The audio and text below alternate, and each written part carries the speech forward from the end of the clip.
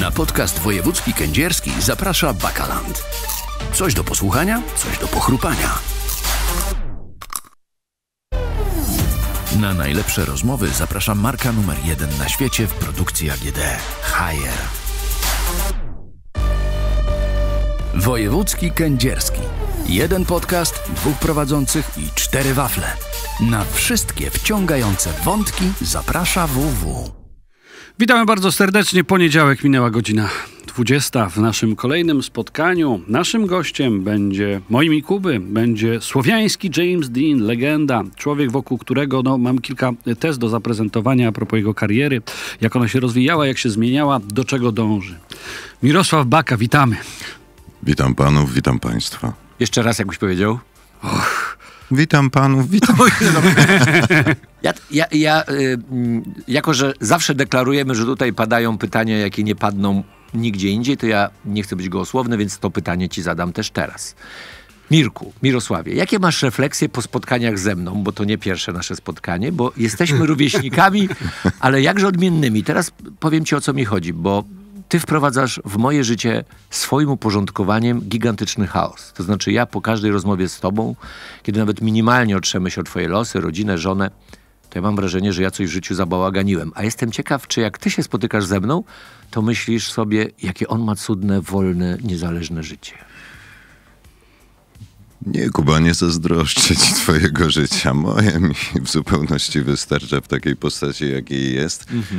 Dobrze, powiem coś takiego, że y, prowadząc jakieś takie ustabilizowane życie, próby, teatr, spokój, rodzina, dzieci, wnuk, no to jak się patrzy na takiego gościa jak ty, to czasami człowiek tak sobie pomyśli, o kurde, Kuba ma nową brykę, albo gdzieś tam zdjęcia skądś, z jakichś Seszeli wrzuca na Instagrama, którego ja nie mam, ale to się jakby rozkłada mm, po wszystkich tam gazetach i zdjęciach, no to, no to jest taki moment, kiedy człowiek myśli, kurde, no facet ma kolorowe życie, ale jak się tylko troszeczkę zastanowię, czy ci zazdroszczę, to już wtedy się wszystko wygładza, jest znowu... Ale masz takie momenty, tak? Czy mogę Dobra, no pocieszam cię. No mam takie. Ale myślisz o sobie jak o starszym panu? No wiesz, dwa, dokładnie, dwa miesiące temu, wiesz ile lat skończyłem? W grudniu, wiem. No, 45. no tak, no mniej więcej. No to niby tak, nic się nie zmieniło, to żadna cezura, żyje się dalej tak jak się żyło 4 i 5 miesięcy temu i 2 lata i tak dalej. No ale jednak jest coś takiego, że kurczę, hmm, jak to się kiedyś myślało o tych facetach, co mają 60 lat. Boże święty. Wiesz, jak byliśmy młodzi, to my o 30-latkach myśleliśmy, że oni są starzy, a serial 40-latek właściwie postawił No. już pieczątkę, że to Stereotypy. preludium do zgonu, nie? Tak, tak. Ale poczekaj, no jesteśmy, nie ukrywajmy, rówieśnikami. Ja nawet jestem od ciebie o parę miesięcy starszy, chociaż tego nie widać. Jak doszliśmy na podstawie pewnych y, Tak, nie mówmy, nie mówmy, już, nie mówmy o Nie prywatnych sprawach. Chodzi o to, że ja nie myślę o sobie. I teraz jest pytanie, czy to dobrze, czy źle, jako o starszym panu? Czy to przychodzi z zewnątrz, czy z wewnątrz? Nie, ja też nie myślę. Nie myślę o sobie jako o starszym panu. No nie, może czasami po jakimś trudnych zdjęciach w filmie albo po ciężkim spektaklu, jak się budzę rano, to mój organizm mówi, stary, musisz pomyśleć, że jednak jesteś starszym panem. Ale generalnie to nie, nie, no nie robię żadnych cezur, nie wyhamowuję w związku z tym, że mam taki, a nie inny licznik. No, po prostu żyję dalej. Panie Mirku, jest pan grzecznym obywatelem. Tam z szaleństw to robienie zdjęć czasami. Tutaj Jerzy Krysiak był, on robi sobie też w ogródku zdjęcia robakom. Pan, rozumiem, y, repertuar zdjęć baki to, to, są, to jest co? Moich zdjęć? No nie, robaków nie robię. Nie, ja wolę ludzi. Okej.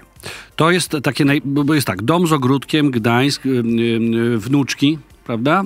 I czy... Jeden wnuk. No właśnie. I... Wnuczki, jeden wnuk. No, Pomyliłeś się o 90%. Poczekaj, No poczekajcie. Chodzi o to, że jak się prowadzi takie, takie życie spokojne, wydaje mi się, że jakieś tam demony tkwią i że tam jakieś szaleństwo musi być i musi być co jakiś czas uwalniane. Więc ja się pytam, jakie są szaleństwa Baki? Czy ma w garażu y, sz- szybki motocykl? Nie, to nie tak. To, to, to, to, to nie tak. Y, Ja zostałem aktorem dlatego, żeby wszystkie swoje najgłębiej pochowane szaleństwa uwalniać w zawodzie. Mhm. żeby na scenie czy przed kamerą, ja, ja to zrzucam na, na, na plecy, na karp tej osoby, którą gram i tam mogę zrobić wszystko.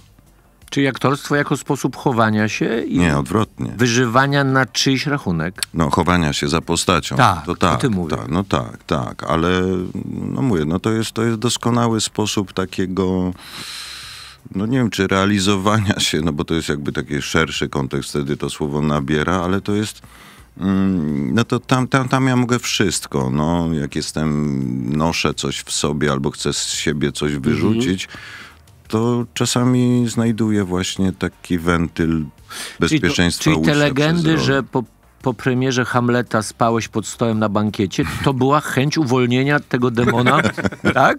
Bo to jest prawda. To jest prawda, ale ja nie spałem, bo byłem zalany czy coś w tym guście. R- różne są teorie, więc możesz teraz Okej, sprostować. dobra.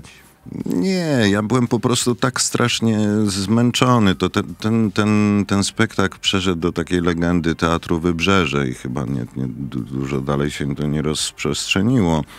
No, wersja premierowa miała 5, chyba 40, 5 godzin 40. Ja właściwie nie schodziłem ze sceny. Krzysztof Nazar, świętej pamięci, był reżyserem tak niesłychanie wymagającym tak, y, tak jeżdżącym po aktorach. Ci, którzy z nim pracowali, no to doskonale wiedzą, o czym mówię. Mm, Ja na trzeci generalny straciłem przytomność. Mówisz poważnie? Mówię poważnie. To, Ale w ramach roli, czy No nie w ramach roli, tylko w ramach czasu spędzonego Hamlet podczas próby. dialogujący, scenie. monologujący z ojcem tracący przytomność, to jest nie, niezwykły wyczyn aktorski. Mógłby być. Gdybyż tak było. Nie, ja straciłem przytomność, ja już nawet nie wiem w którym momencie. Zresztą, słuchaj, drugi raz karetka była u mnie na drugim z kolei spektaklu. Ryszard III. Ryszard III. A to chyba ze względu na kronik, kro, No ale to też ten charakter, sam, tak? ten sam reżyser, ten sam reżyser Krzysztof Nazar. No, Tomek Wert kiedyś, taki świetny operator, też już nie żyjący, który tam ustawiał, yy, ustawiał światła w tym spektaklu. I jak ja leżałem gdzieś między grzędami, to usłyszałem tylko jak on mówi, no i zajeździliśmy naszego konika. Ale ty Ryszarda III e, grałeś, miałeś już taki poziom świadomości, żeby zagrać tak brzydką, ohydną, mściwą, bezwzględną po, postać? Już to, to, to, czy chciałeś się... Te- Taki, taki rodzaj świadomości to już miałem dużo wcześniej, myślę. No, jak grałem takie ohydne role, zacząłem od mordercy, znaczącą rolą w Krzysztofa kinematografii, Kisielskiego, tak.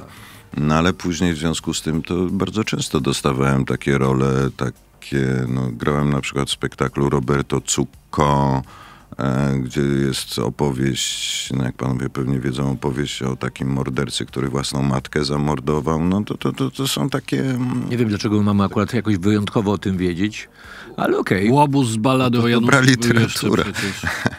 Tak, tak. No, także, że Ryszard III to już był gdzieś w okolicy 2000 roku, to ja już miałem ponad dziesięcioletnie doświadczenie Okej. teatralne, miałem Hamleta za sobą, inne duże role. A jakbym tak y, ten etap y, mm, próbował mm, syntetyzować, to jaki tytuł powinna nosić twoja autobiografia? Mm, Myślałeś kiedyś o tym? Zupełnie abstrakcyjnie. wczoraj przez chwilę. No. Na premierze Nie, filmu, który jest pretekstem naszego spotkania, czyli sami swój początek. A nie, ale to akurat nie na premierze miałem takie, dostałem takie pytanie wczoraj od innego panów kolegi, dziennikarza, ale przez chwilę się zastanawiałem, potem przestałem się zastanawiać, nic ciekawego nie wymyśliłem i tak prawdę mówiąc to ja nie wiem, jak, jak ta autobiografia miałaby się nazywać. tak po prostu Mirek. To było, było Hermaszewskie. Pana, A, okej, tak. Ja mam pomysł, 23 pana- dolary. To obaj wiemy chyba dlaczego. tak, tak.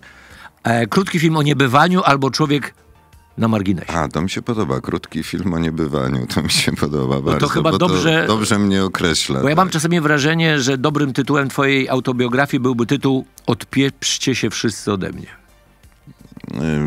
Mój kolega ma takie powiedzenie, nie wiem czy to, to jest jego czy inne, że z każdym rokiem przybywa ludzi, którzy mogą mnie pocałować w dupę.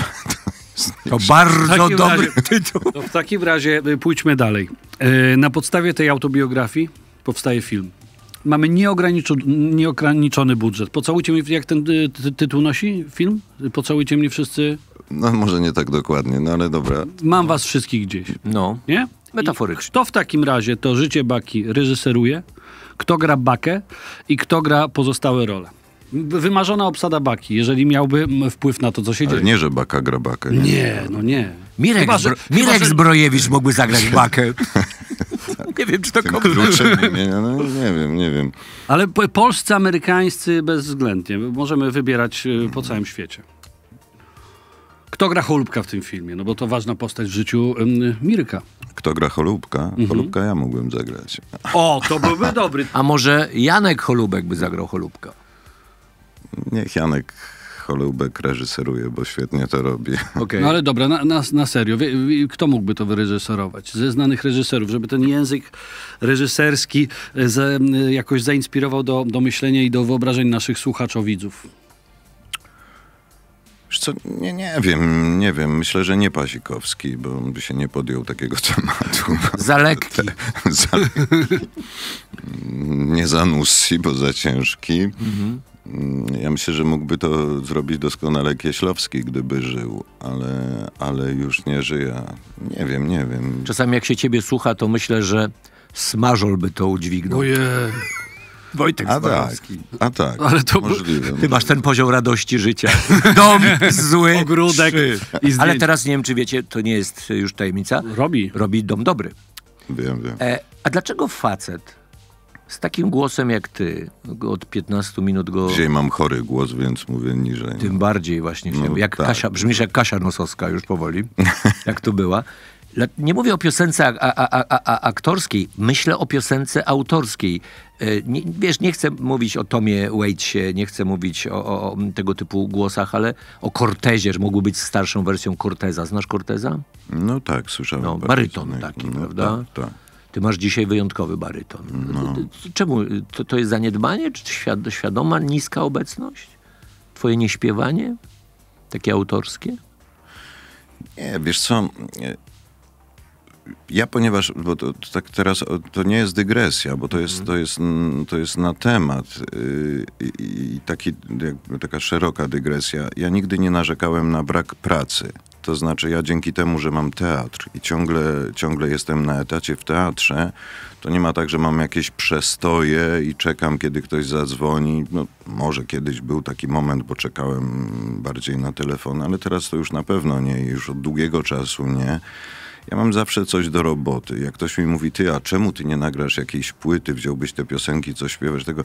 Ja nie znalazłbym czasu na coś takiego, ani energię. energię. Nie chciałbyś być polskim Berem, Berem White'em? Cokolwiek nie powiesz, nie chciałbym, być, chciałbym być polskim Mirkiem Baką. Ale A to jest dobry tytuł. Polski Mirosław Baka. To jest dobry tytuł na, na biografię. Naprawdę, czyli co? Nie zanosi się, tak? Znaczy, bu- Nie, no, no ja mówię o nie, wewnętrznej potrzebie wykorzystania daru, bo słuch, sposób śpiewania, nawet słyszenie, chodzenie po dźwiękach, to można wyćwiczyć, ale barwa to jest dar. Ale wiesz co, y, ja miałem to szczęście, że barwą mojego głosu dosyć wcześnie zainteresował się Jurek Satanowski, Mhm. który już tam gdzieś w, chyba w 2000 roku zaprosił mnie do gali w, we Wrocławiu i tam po raz pierwszy śpiewałem publicznie, że tak powiem, na antenie i to na żywo w dwójce chyba, to było gi- gigantycznym stresem, ale jakoś się to udało. I z tym Jurkiem Satanowskim zrobiliśmy potem kilka następnych rzeczy i jest tak, że co jakiś czas Jurek dzwoni i mówi, słuchaj, robię taki program tam o, o tym, czy o tamtym, o Wysockim, czy o innym. I ten program, i to co jakiś czas tam sobie pośpiewam i to fajnie i wystarczy, a reszta to gdzieś przy wódce z gitarą z, z czyli przyjaciółmi. to są te sza- pierwiastki szaleństwa w życiu, a to sobie pośpiewam. Ogromnego szaleństwa. Idę, idę Czyli musi, żeby śpiewać, musisz mieć wódkę. To będzie dobry tytuł. Słuchajcie, bo będziemy dzisiaj skakać po tematach i tutaj mm, w, wspomniałeś nasz Na razie gościu. skaczemy Bardzo. To jest moje sza- szaleństwo w moim życiu, tak, odpowiadanie na wasze Mówiliśmy pytania. o, o tym, że czekałeś na, y, czekał pan na telefon, Możesz mówić, no, że czekałeś na, na, na, na telefon. no, I by, są takie momenty w życiu aktora, które okazują się przekleństwem. Nie wiem, Jadwiga Jankowska-Cieślak y, po, po kan, y, nagle, nagle cała... Tak samo Po... było ze mną po Cannes, No i- po krótkim filmie No właśnie, się dokładnie. zastanawiam, czy to jest ym, przypadłość tego polskiego rynku, bo wydaje mi się, że jak mamy ym, właśnie świeżą gwiazdę, to, to się Nie, nie, nie. Ja, do... Mówimy teraz o pani Jankowskiej-Cieślak i ja wspomniałem o tym, że ja też po Cannes, a mów, Mhm. czyli mówimy o latach zamierzchłych, o latach 80., nie wiem, jeszcze to pewnie sięgnęło w początek lat 90., kiedy instytucją promującą film polski, Mhm. czy w ogóle no, naj, najistotniejszą tutaj, no, był właśnie, tak się ta instytucja nazywała, film polski. I, i to było... y, a po, dobra, to jest jedna rzecz, że ta instytucja nie działała może najlepiej, ale druga to była jakaś taka w ogóle zasada funkcjonowania mm, kinematografii, że wtedy nie, nie, nie było czegoś takiego jak promowanie, promowanie aktora, czy mm, no czegoś takiego, co przyszło z tym filmowym kapitalizmem, marketingiem, że jak aktor zagra świetną rolę i zafunkcjonuje, no to natychmiast na tym koniku jedzie się dalej. To się go lansuje, to się mu podaje nowe scenariusze, to się go wykorzystuje w następnym serialu, etc., etc. Ale też się go promuje w obszarze popkultury. No tak, Inaczej. no dokładnie. Byłeś Wtedy kiedyś, nie miałeś było. plakat swój w jakiejkolwiek gazecie, był plakat Miro... Nie patrz tak na mnie. Nie, nie, To jest nie. dobre pytanie. No dobra, ale Miałeś plakat kiedyś, był sobie. Mirosław Z Bach. Reichu, z, z Reichu nie, nie, nie, było, no, nie? No to, no to był Tylko to jakiś już plakat, późniejsze. gdzie byliśmy obaj z, z Lindą, no ale... Ale nie, mówię o tym, czy był, bo, bo to jest sposób zwracania uwagi wyjątkowy na wyjątkowego człowieka, prawda? Tak, tak, No i takim o tym, językiem o tym, mówi popkultura. No dokładnie, ale o, o tym mówię, że wtedy zagrałem główną rolę w krótkim filmie o zabijaniu, który stał się nagle wydarzeniem na, na, na właściwie na miarę światową, bo wszędzie był wyświetlany dekalog od Japonii po Argentynę. Mhm. I, i, I ukazywały się gdzieś tam na zachodzie jakieś moje wywiady, artykuły, to co zażartowałeś sobie, to słowiański James Dean, to pochodzi tak, z tak, tak, L y, francuskiego. Wszyscy mamy ten egzemplarz. No ale, ale pojawił się uśmiech na twojej twarzy przecież, to, to jest fajny komplement. Ja już co, co chwila się uśmiecham. E, Natomiast no, co, co chcę powiedzieć, że wtedy tak było, że nie było takiego zjawiska, że, że na tym koniku to my dalej pojedziemy. Nikt mi nie podsuwał ról, wręcz przeciwnie, przyjechałem na festiwal do, do Gdyni, słyszałem tylko i wyłącznie no stary, dałbym ci rolę w swoim filmie, ale ty się tak strasznie kojarzysz z tym dekalogiem, że to, No. że to nie ma sensu. Ale czy to nie jest fascynujące z y, twojej perspektywy, jak patrzysz też na młodych kolegów, że ty jesteś łącznikiem tak naprawdę dwóch sposobów myślenia na temat kinematografii. Tego przed 90 rokiem, dość y, no takiego mm, siermiężnego, też z podejściem, że, że no, mm, aktor niezawodowy miał wtedy słabo. Prawda? Nie, nie, nie- był akceptowany przez społeczność. Przechodzimy, kino staje się komercyjne, stawki zapewne poszły, poszły do góry i wydaje mi się, że twoi koledzy z planu teraz nie kumają, jak ich sytuacja obecnie jest pełna możliwości, które, które daje, ilo, daje, daje ilość platform streamingowych, stacji, które może... No, tych filmów i seriali w Polsce produkuje się cała masa. Jakie jest pytanie? Pytanie jest takie, czy ty uważnie jesteś benefic, beneficjentem, czy, czy to jest fascynujące, że na twoich oczach przeszła, ta branża, w której jesteś, przeszła aż taką przemianę? Bo to są dwa różne Przychodzi światy. mi do głowy słowo fascynujące. Ja to wszystko musiałem przeżyć i przerobić na własnej skórze, więc cieszę się, że do, tak to się przekręciło wszystko w tę stronę, chociaż z drugiej strony nie używam ani Facebooka, ani Instagrama, nie lansuję się, więc jakby w moim życiu i w moim podejściu do zawodu się tak wiele nie zmieniło, ale dobrze, że w ogóle ten obszar yy, i i to pojmowanie jakby tego, tego no, dobre pojmowanie aktorstwa i jakby promowanie tych młodych ludzi, którzy są dobrzy, że tak funkcjonuje w tym kraju. No i że aktorzy są tak wynagradzani. Dziękujemy Grażynie Szapołowskiej, która pierwsza w tabu się postawiła i powiedziała, ja chcę za film tyle i tyle i inaczej nie gram, bo Wcześniej to było po prostu pana stawka wynosi tyle i tyle i za tyle i tyle pan będzie grał, bo pan ma zaszeregowanie ten numer. A ty się od którego filmu zacząłeś stawiać? A wiesz co, Ch- chyba y, nie, nie tyle zacząłem się stawiać, co ja y, zapisałem się do pierwszej czy zostałem zaproszony, nie wiem, już nie pamiętam, pierwszej agencji aktorskiej w Polsce, którą prowadził Bogusław Linda. No, pamiętam, na Chełmskiej było biuro. No, ja Bywałem tam w tej agencji byłem, więc pewnie Bogusław Linda za mnie negocjował jakieś stawki, ale to było w 90 latach, chyba wczesnych. A czego ty nie lubisz w, najbardziej w pracy aktora?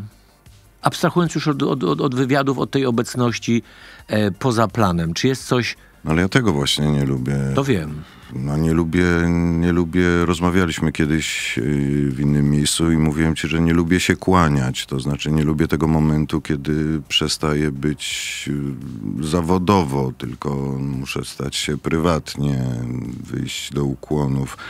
Nie ma takiej rzeczy chyba w aktorstwie, której ja nie lubię.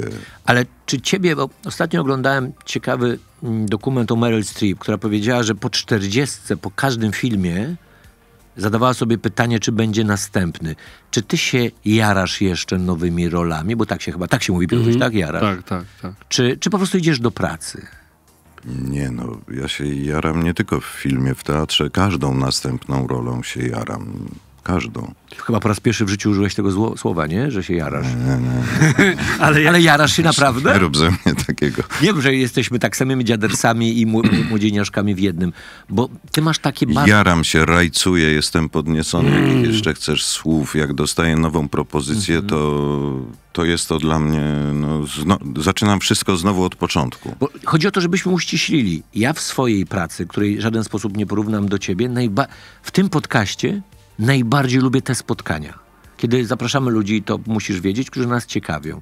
A nie, co się z nim dzieje, które ma miejsce, jak jest cytowane. I rozumiem, że ty masz tak samo w swoim zawodzie. Najbardziej lubisz spalać się na planie, a wszystko naokoło, te, ca, ca, cały ten system gwiezdny naokoło cię drażni, irytuje, najchętniej byś go nie chciał, tak? Dobrze czytam? No dobrze, bardzo dobrze. No.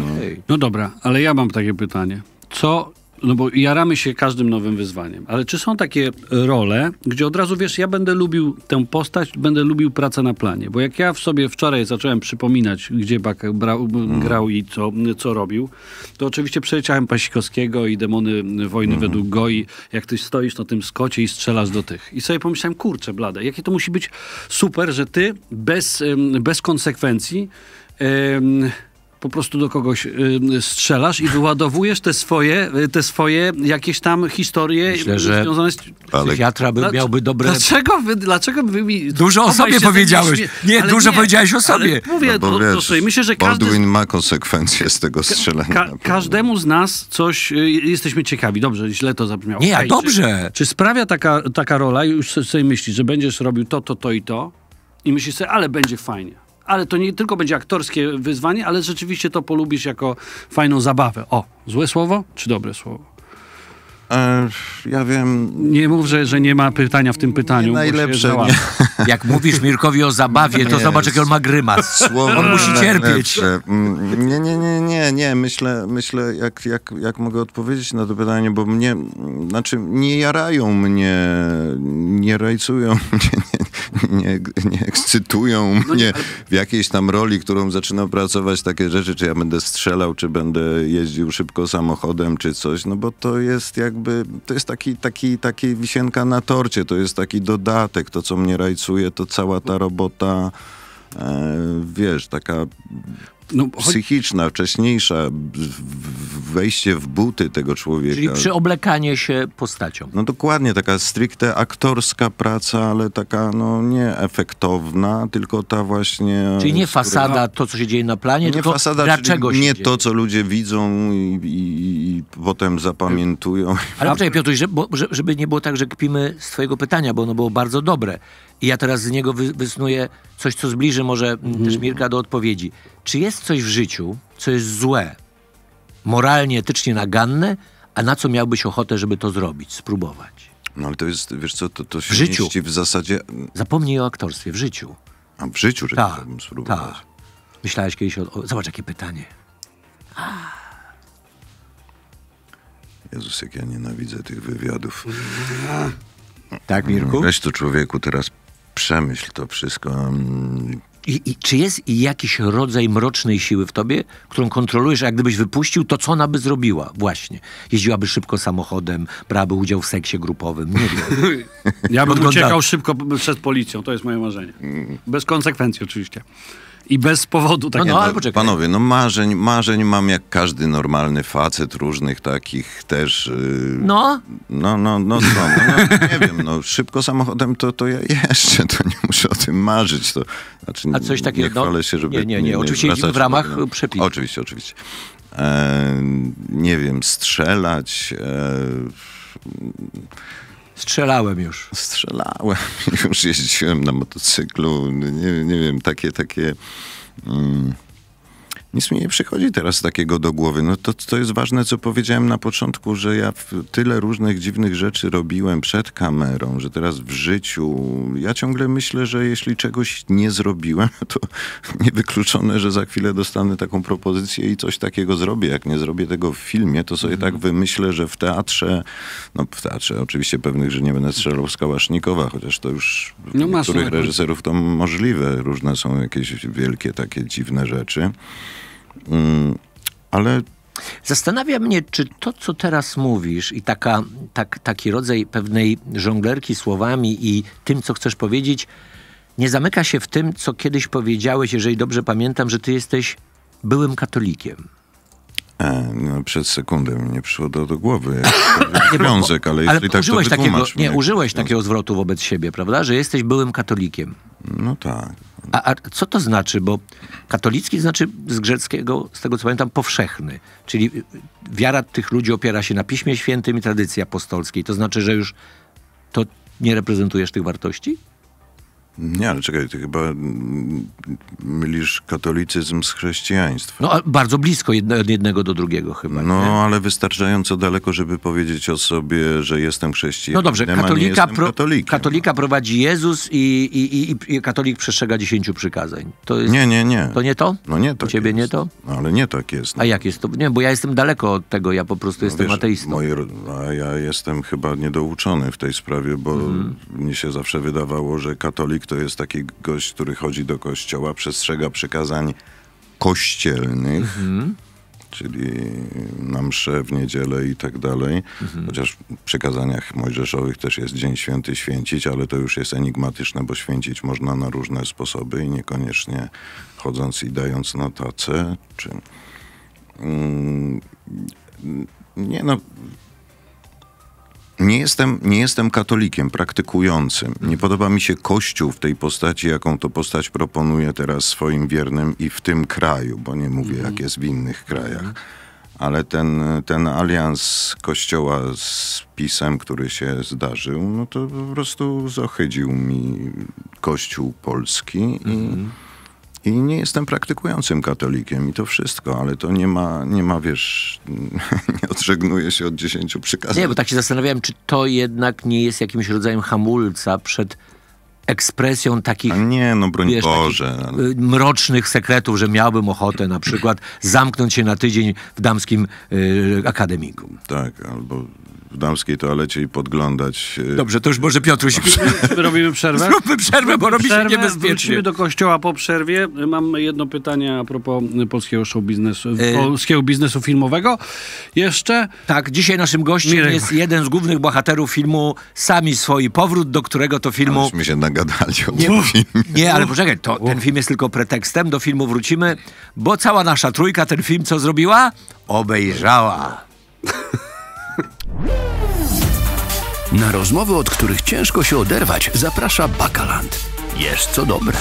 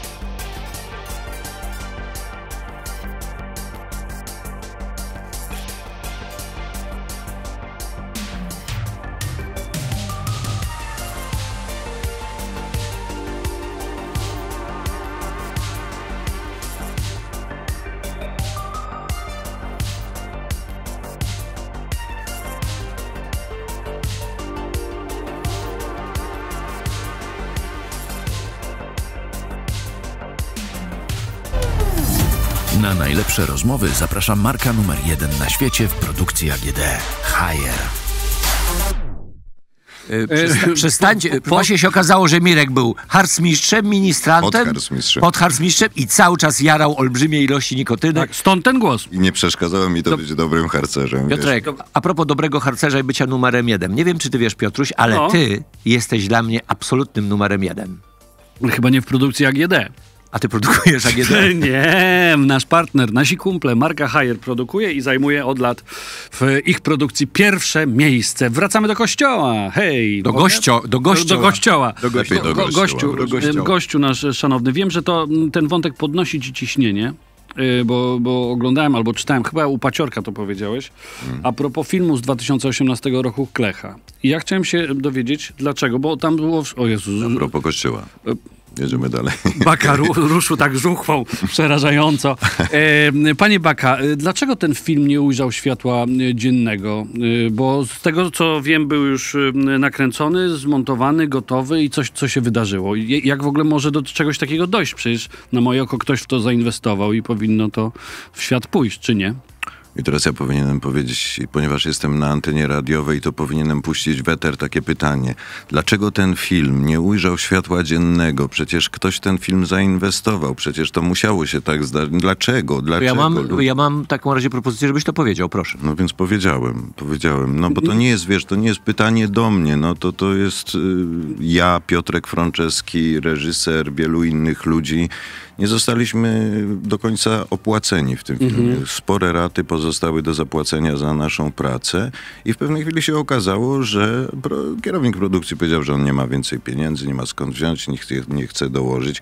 No film nie może pójść do, do, do y, jak to się mówi? świat. No, Do rozpowszechnienia. do rozpowszechniania w momencie, nie może być biletowany w kinach, w momencie, kiedy ludzie nie zostali zgodnie z umową wynagrodzeni. No jest impas, impas, który po paru latach jakichś tam przekomarzanek czy tam oskarżeń wzajemnych doszedł do momentu, kiedy producent e, ogłosił upadłość i koniec imprezy. I ten, I ten film gdzieś jest w puszce. Gdzieś sobie leży. Ale py- pytanie jest takie, bo y, nie wiadomo, czy ujrzy światło dzienne, a, a uważasz, że, y, bo masz, y, myślę, że potrafisz ocenić, czy zagrałeś w filmie dobrym, lepszym, czy wybitnym. Warto by było, żeby... Niekoniecznie potrafię to ocenić, wiesz, bo ja jestem w takiej części, w takiej, w takiej sytuacji jak większość aktorów w większości sytuacji filmowych, że ja tego filmu nie widziałem w całości. A ty duże ilości swoich filmów tak? Ogromne, a niektórych to już w ogóle, nawet tych, co za granicą robiłem, na przykład to w ogóle nie widziałem. Ale dlaczego nie, nie lubisz siebie oglądać? Bo jest taka częsta cecha u aktorów, czy po prostu nie masz czasu? Bo jesteś Nie, już no. na innym planie. Nie, nie, nie lubię siebie oglądać. To znaczy, inaczej powiem tak, pierwsze oglądanie filmu, który zrobiłem jest męką zawsze. Bo wtedy widzę wyłącznie te rzeczy, które źle zrobiłem, albo te, które Ale mogłem on, to, zrobić ono ma lepiej. miejsce na premierze, czy to są jakieś takie No techniczne to zależy, jeszcze? no, no, zależy, gdzie to oglądam. No jeśli oglądam na premierze, to... Wczoraj oglądałeś sami swój powrót, no. Byłeś No dobrze, ale zadowolony? wczoraj ja grałem Ziembickiego, to jest jedna z takich jakby mniejszych y, tam y, ról, postaci. Nie, nie mam szczególnie dużo sobie do zarzucenia. Jeśli mam, to to zostanie dla mnie. Nie powiem, nie przyznam się o co. Nie, y, nie było źle. Mm, Natomiast no, no, jak są jakieś większe role i oglądam taki film, no to wiecie, jest dużo momentów takich, które można by, no, jak zawsze, jak, nie wiem, byście odsłuchali swoje pytania później, to byście też powiedzieli, że mogłyby być trochę lepsze. Oj, wiesz co, to była akurat fatalna, nie, nieuprawy wzmocniona ale- i arogancka To, sugestia. to, to, szybko, to szybkie pytanie. A ty masz jakąś rolę, w której rzeczywiście patrzysz i jesteś z niej bardzo zadowolony? Taka, że, że gdybyś leciał na bezludną wyspę i mógł wziąć jedną rzecz ze swojego dorobku, żeby tubylcom się przedstawić, to byś ją w, na tej płycie DVD miał. Wiesz co, jest kilka takich ról, gdzie mogę z, z, z czystym sumieniem powiedzieć, że nie mam wiele sobie do zarzucenia i trudno byłoby mi, mi zrobić, czy w ogóle zrobić to lepiej.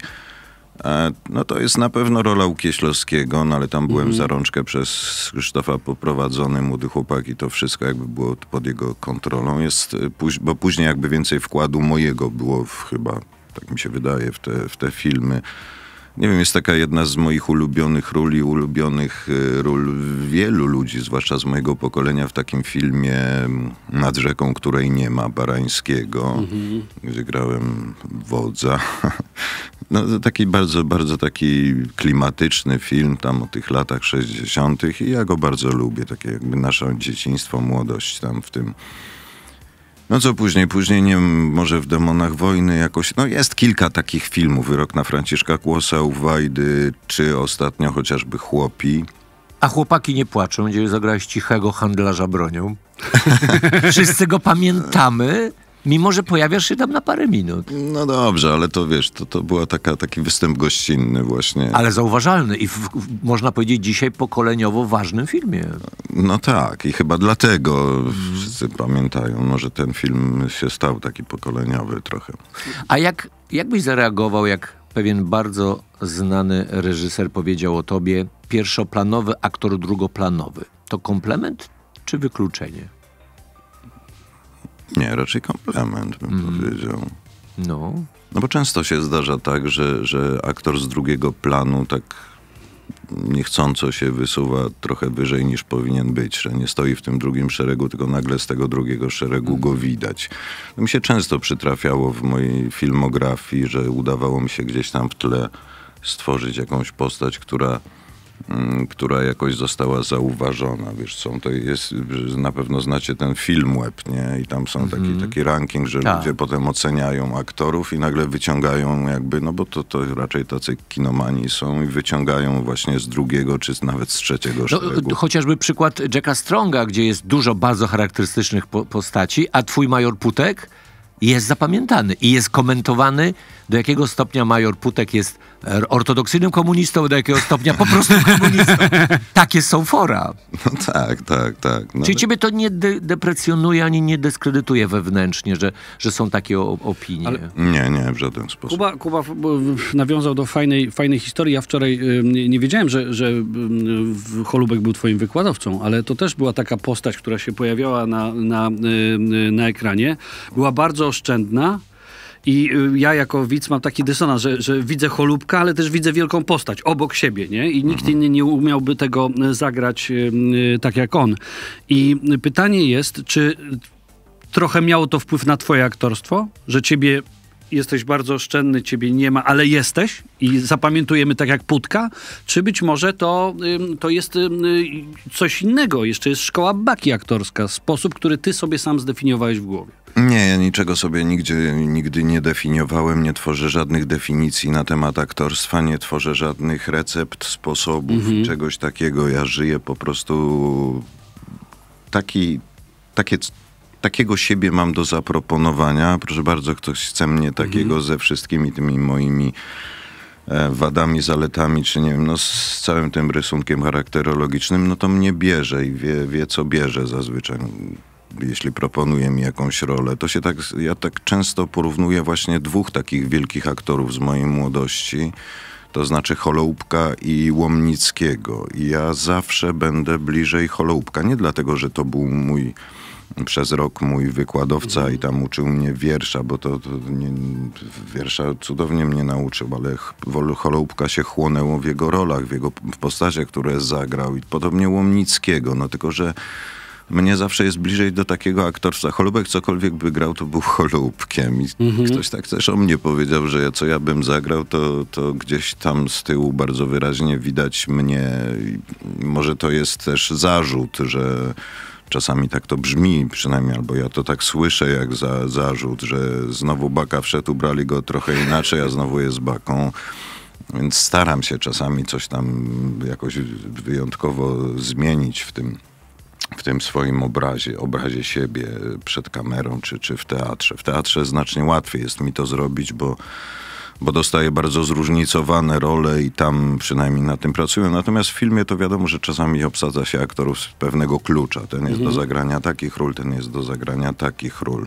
Ja z Łomnickim grałem kiedyś w pewnym niemieckim filmie i i spędziliśmy na planie dużo czasu właściwie we dwóch i to, i to tak dokładnie, że kręciliśmy w jakimś zimowym anturażu i siedzieliśmy w jakimś busie, bo wtedy jeszcze nie było tych przyczep aktorskich. Kamperów. Kamperów, tak. Ja z panem Tadeuszem godzinami siedziałem w jakiejś furgonetce, on mi opowiadał o aktorstwie, o życiu i mimo tego nawału tych informacji, które ja od niego wtedy dostałem, tych, tych rad, No to mimo tego ja wciąż jestem tym Cholubkowskim. Ale a propos właśnie takich warsztatowych rzeczy, rad, spotkania dwóch osobowości, starszej młodszej, to jaką metodą aktorską, jakimi środkami najlepiej w twoim życiu podrywało się młode siatkarki?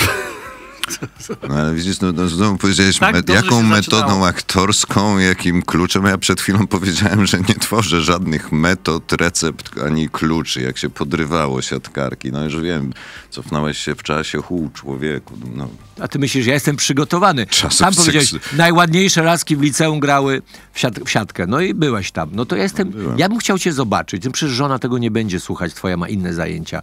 Yy, wnuczki żona do... w ogóle nie czyta żadnych moich wywiadów. Mam nadzieję. Wnuczki, wnuczki, wnuczki dogląda. To co robiłeś? Po prostu przychodziłeś i mówiłeś, cześć, Mirek. Patrzę ci głęboko w oczy i mówię, powtarzam kolejny raz, ja mam wnuczka, nie wnuczka. No właśnie mówię, dogląda wnuczka. Ale on mówił o przyszłości. Dobra. Tak. Poczekaj, to jeszcze nie jest ostatnie słowo twoich synów. No. Przypomnij sobie siebie 43 lata młodszego. Tak? A ty sobie przypomnij siebie 43 lata młodszego, czy tak będziesz To nie mógł na wywiad ze- pstryk to nie jest wywiad ze odpowiedzieć, mną. jak ty to robiłeś, No. człowieku. No. No. To były czasy licealne, Mhm. myśmy się kochali po prostu. To to są te czasy, kiedy na przykład jedna piękna siatkarka w zespole siatkarek y, szkolnego klubu sportowego jest taką dżagą, że wszyscy faceci się w niej kochają. No to jak ty tu wystartujesz, jak ona jest w trzeciej klasie liceum, ty jesteś w pierwszej klasie liceum i co do niej pójdzie, żeby przegrany. ci z matmy pomogła, No, no, co? nie wiem, może będę pani piłkę podawał, Ale ja, wszyscy podawaliśmy tę piłkę na wyścigi w ogóle. ale coś udało ci się dojść do siatki, czy nie? Niezłe sformułowanie. Dojść do siatki. Zaserwowałeś? Poproszę o kolejne pytanie. Sam powiedziałeś, nigdy nie zaznałem masowej miłości nastolatek. I to, jak przy moim, może trochę tandetnym, ale bardzo szczerym rozumieniu tego zawodu, to jest smutne wyznanie. Smutne. Tak. Powiesiłbyś sobie sam, jako młoda dziewczyna, plakat Mirosława Baki nad łóżkiem? Tak szczerze. Nie no, bez sensu. Jakiś nudziarz buczący gdzieś tam w wywiadach. Nie. Bu- buczący w wywiadach. Nie, ale no, Nie no, Kuba, no przecież to jest ewidentne. No, są, aktorzy, są aktorzy, którzy się nadają do powieszenia na ścianie, są idolami młodych ludzi i są tacy z człowieku. Czy Radziwiłowicz to jest zły aktor? Nie, doskonały, genialny aktor. Czy jakaś dziewczyna by sobie powiesiła ale? Radziwiłowicza? Nie Y, przypuszczam. Jak się czyta y, jego biografię, czy wyszła taka rozmowa, wywiad rzeka z nim, to on jest genialnym aktorem, ale tak trudnym człowiekiem. Ja po przeczytaniu tej książki już wiem, że z nim taka rozmowa jak z tobą nie odbyła, ona zostałaby uznana za błahą, banalną i niepotrzebną. Znaczy on sobie stworzył już takie standardy wokół swojego świata, że my z Piotrem byśmy się tam nie dostali. I to teraz pytanie, czy to jest fajne, czy to jest współczesne, czy nie. A dobra, ostatnie mogę? pytanie, ostatnie pytanie. Dobrze, no bo ja nie jestem, kończąc odpowiedź na to pytanie, no... no Ale ty jesteś to mam- przystojnym facetem. No dobra, no ale człowieku, no widzisz mój plakat i obok Mirek Baka. Borysa Szyca, no, no to... to No to idę za tobą. Nie no, ale Borys też ale nie ty jest... nie jesteś młodą dziewczyną. Ale, gram świetnie w siatkówkę. Jaką wiedzę praktyczną wyniosłeś ze studium wychowania przedszkolnego? Ach, człowieku. Czy na przykład podnosiłeś u dzieci poziom integracji sensorycznej? Niczego nie na szczęście nie pozwolono mi podnosić u dzieci, bo po 14 dniach mnie wywalono. Z Ale tego. tworzyłeś sytuacje edukacyjne studium. budujące wrażliwość dziecka? Przygotowany, cudownie. Po coś polazł do... Żeby do wojska nie iść, człowieku, że mówiłem, no musiałem Nie mówiłeś robić dzisiaj takie jeszcze. rzeczy. Aha, dobra, pomyliłem Mówiłeś to wczoraj. szes- 16 wywiadów temu. A, Okej. Studium wychowania przedszkolnego i taki silny facet jak ty. Cudowne to było, cudowne. Z moim kolegą Darkiem siedzieliśmy w ostatniej ławce i chyba 30 parę dziewcząt przed nami. Ile podawania piłek. Nie wiem, czy ja zrobiłem jakiekolwiek notatki na tych wykładach, czy tam na lekcjach w tym studium. W każdym razie bardzo szybko musiałem z tego zrezygnować, bo pani dyrektorka się dowiedziała, że byłem przez rok w Warszawie, bo to było po wyrzuceniu z Warszawy, jak uciekałem przed tym wojskiem. Dodajmy, ze szkoły. Tak. Dodajmy, ze szkoły teatralnej w Warszawie. Mhm. No i pani powiedziała, że jak pan, jak byłeś, bo to przecież Perty się mówiło do takich tam studium, No tak. jak byłeś w tej szkole, to teraz robisz nam akademię na Dzień Nauczyciela. No to ja stałem, wziąłem teczkę, czy co tam miałem i poszedłem do domu. I to był mój koniec współpracy ze studium wychowania. Czyli rozumiem, że jako dziadek wnuczka Nie jesteś przydatny, gdyż studium wychowania przedszkolnego niczego cię nie nauczyło. Zdecydowanie. Panie Mirku, prehistoria. Yy, To nie była prehistoria? E, Stu- Tak, bo ja, była ja, prehistoria. ja chcę teraz się cofnąć. To do bo, przedszkola bo, e, się cofnijmy, Żeby do iść studium. na aktora, yy, wydaje mi Cudowne, się... moja prababcia by tak powiedziała. No właśnie, Na aktora. no właśnie. Piotrek jest prostym chłopcem i dajmy mu, nie blokujmy. Chodzi o to, że co było impulsem. Bo są, y, podejrzewam, że, że aktorstwo też jest y, dla takich klasowych, y, Kubat często o tym mówi, Tak. takich klasowych śmieszków, którzy też szukają swojej drogi i nie wyobrażają sobie bycia prawnikiem, lekarzem, inżynierem i szukają też y, jakoś zagospodarowania tej energii. Dacie wiarę, że ja byłem klasowym śmieszkiem? Poczekaj, możemy się wypowiedzieć? Nie. Ale chciałem... Byłeś klarzem. Ale je, jeszcze poczekajcie, wrażliwcem, okej? A klasowy śmieszek często jest wrażliwcem też. Oczywiście. A poczekaj, ale jak definiujesz klasowego śmieszka? To znaczy, że cokolwiek powiedziała nauczycielka, nagle Baka się odzywał i mówił, to nie jest tak, jak pani mówi. nie jest Nie, nie cokolwiek, ale zdarzało mi się też tak zrobić. A, A pamiętasz jakiś swój najgrubszy numer? Wiesz co, mój najgrubszy numer to nie był śmieszny, ale nie, O, o. chyba w radiu też nie można, Można, można. takiego powiedzieć. Nie, mój najgrubszy numer to był taki... nie, bo to nie był numer właściwie, tylko to było coś, co zaważyło w dużej mierze na... Nie, nie na moim życiu, tylko na mojej trzeciej klasie liceum, kiedy nieopatrznie wróciłem po wypaleniu papierosa z toalety licealnej, stanąłem przed salą i do mojego kolegi, którego zobaczyłem w tle korytarz, zapytałem, przyszła już ta ci... Kurwa, że nie wiem, co ja powiedziałem. Nie najlepiej się wyraziłem o mojej nauczycielce od biologii, a ona wtedy szturchnęła mnie z tyłu w plecy i powiedziała, tutaj jestem. No i to miało związek później z prze, przerabianiem na nowo całego materiału Jaki to był przedmiot? biologia. Ale Czy jesteś obtyka, obcykany w biologii? Człowieku, ja byłem najlepszy z biologii w klasie. Był tak, taka cegła była, pamiętam, ogromna autorstwa Tołpy. Do dzisiaj pamiętam. Ten profesor Tołpa? Jakiś tam profesor, no chyba napisał biologię, takie wielkie litery, które śniły mi się po nocach. Mhm. Ja musiałem zdawać cały materiał z trzech lat. Ale u biologii. tej właśnie, jak to powiedziałeś? U tej pani, Pani? nauczycieli. Ale ta pani, y, zapewne takie, y, takie y, wydarzenia zbliżają dwie antagonistyczne strony i pewnie mm, pani bardzo miło. się- Ona cię widzi w chłopach i mówi, Tak. ja go stworzyłam. Synuś, synuś. No. Dobra, ale z edukacją no też miałeś... A, w ogóle nie odpowiedziałeś mi oczywiście na pytanie, co było impulsem. Nie, no, no mogę odpowiedzieć. No, pierwszy No. impuls to był taki, że pani tam gdzieś w podstawówce, pani Irma Antonia, której nazwisko do dziś pamiętam i wdzięczny jestem jej za to, y, kazała mi się nauczyć wiersza, po czym ja powiedziałem ten wiersz, a ona powiedziała, synku, czy ty wiesz, o czym ty mówisz? No ja się bardzo zdziwiłem, jak każdy pewnie uczeń czwartej klasie by się zdziwił. No pomyśl, o czym ty mówisz? I jeszcze parę takich zdań, które spowodowało, że ja zacząłem myśleć, co gadam. Wyszedłem na akademii szkolnej, zacząłem mówić wiersz i nagle ta rozwrzeszczana dzieciarnia tak powoli, powoli, powoli, powoli zaczęła się uciszać i pod koniec wiersza całkiem spora liczba mnie słuchała. A pamiętasz, co to był? Bo pytanie też, co było treścią? Czy to był wiersz o Gagarinie? No, coś Linie. blisko, wiesz, co to było blisko jakiś, to był wiersz jakiegoś rosyjskiego, czy tam radzieckiego poety. Czekaj mnie, a wrócę zdrów, tylko czekaj mnie, gdy przekwitną. Majakowski. listy bzów. No nie wygłupia się, naprawdę ja No nie tak. pamiętam. No, no chyba mi możesz zaufać. Ty blefujesz, Chyba czy mam nie. to sprawdzić? Nie, no dobra, był taki wiersz, no ja wtedy poczułem coś takiego dziwnego, że człowiek stoi na scenie i ludzie go słuchają. Powiem, mogłem zostać politykiem, chociaż polityków lubię. Ale poczułeś się lepiej? Ale coś takiego, wiesz, zakiełkowało, a później a propos tego Śmieszka e, nawiązując, później założyliśmy kabaret szkolny i całkiem nieźle już wtedy ludzie nas słuchali, śmiali się i była ta przyjemność takiego bycia na scenie. Naprawdę mówienia bawiłeś do ludzi? ludzi. Naprawdę bawiłem ludzi. Pani- Kuba, ja w komediach gram w Ja wiem, o właśnie o komediach to jeszcze porozmawiamy też filmowych, Pani- pani- szczególnie dla Netflixa. Panie Mirku, edukacja. Pytanie z cyklu edukacja. Z cyklu edukacja, bo tutaj nie możemy e, pominąć pańskich e, problemów, no bo jak sam e, pan wspomniał, Wyciągnąłem koperty z tym pytaniem. ma pan, ma pan no, no, z, pedagogami na koncie jakieś konflikty. Zaczęły się już w liceum, ale e, wywalili pana ze studiów.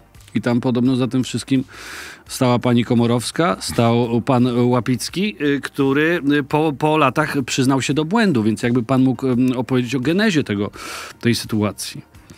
No Co się tam to- wydarzyło? to Streściłeś jakby to, co się wydarzyło. No, no, uznali, że nie nadaje się do tego zawodu i i zostałem skreślony z listy studentów po pierwszym roku szkoły teatralnej. Ale bez powodu, no chyba dostaje w skreślonym No właśnie nie. jakieś No właśnie nie. myśli. No właśnie nie. Podobno w szkole aktorskiej No nie podaje się powodu. Nie podaje się powodu. W każdym razie ja nie dostałem ani indeksu, ani nikt mi nie nazwał słownie tych powodów, tylko poinformowano mnie, że zostałem skreślony z listy studentów. Ale- Ja wam powiem, że to jest tak w szkołach teatralnych. I to nie wiem, czy tak było, bo wówczas to była Państwowa Wyższa Szkoła Teatralna, a nie Akademia Mhm. Teatralna. No nie wiem, więc czy teraz jest nieco inaczej. W każdym razie pierwszy rok szkoły teatralnej to jest taki rok przesiewu. Tam się dokonuje takiego przesiewu i tam chyba nie tylko ja wyleciałem wtedy, tylko tam parę osób i tak za każdym razem było. No i nie, nie powiedziano mi za co. Ktoś tam gdzieś tam powiedział, że a, Komorowska powiedziała, że masz nieprawdziwy gest. y, i Coś tam, że ona doradziła e, Łapickiemu, który był opiekunem roku, żeby mnie usunąć. Dobrze, zdarzyło się tak i uprzedzam jakiekolwiek pytania, albo chcę poinformować całą opinię publiczną, że bardzo dobrze, że tak się zdarzyło, bo może mnie to za łatwo przyszło. Ja do szkoły teatralnej, proszę bardzo, hop się jadę do Warszawy, zdaję do szkoły teatralnej.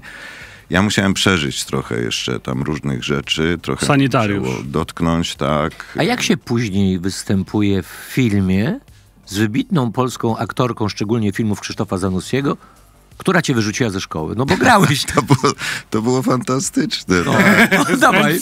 To było fantastyczne, ale to zanim, zanim ja z panią Mają miałem przyjemność zagrać, ona moją matkę grała u Wajdy właśnie, zanim miałem przyjemność zagrać, to pojechaliśmy do Moskwy na festiwal filmowy i tak się złożyło, że byłem ja, Artur Żmijewski, y, pan Zanussi, pani Maja, taka, taka ekipa filmu polskiego właśnie. Ja, przedst- ja reprezentowałem dekalog y, Kieślowskiego, Artur był z, z Lawą wtedy, był pan Zanussi, nie, zresztą tam on z, też Zanussim był z tym filmem, co e, nie pamiętam już tego tytułu.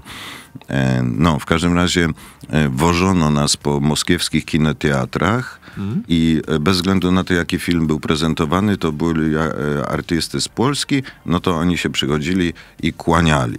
Mieliśmy tłumaczkę, w razie gdyby były jakieś pytania z widowni Mm, i cudowna pani Maja zawsze chciała coś powiedzieć do tej wspaniałej widowni, która nas przyjmowała w tej Moskwie. I wychodziła, powiedziała, że ona nie potrzebuje tłumaczki i swoim rosyjskim przedziwnym, że się tak wyrażę, mówiła, mówiła na pewno z rosyjskim akcentem, chociaż może niekoniecznie po rosyjsku. Pani Maju, jeśli pani słyszy, to bardzo proszę mi to wybaczyć, ale to cudowne wspomnienie moje, e, że mówiła, to są moi, moi, moi i to pokazywała na mnie stojących w tle tam mnie i Artura Żmieskiego, który był parę lat później studentem.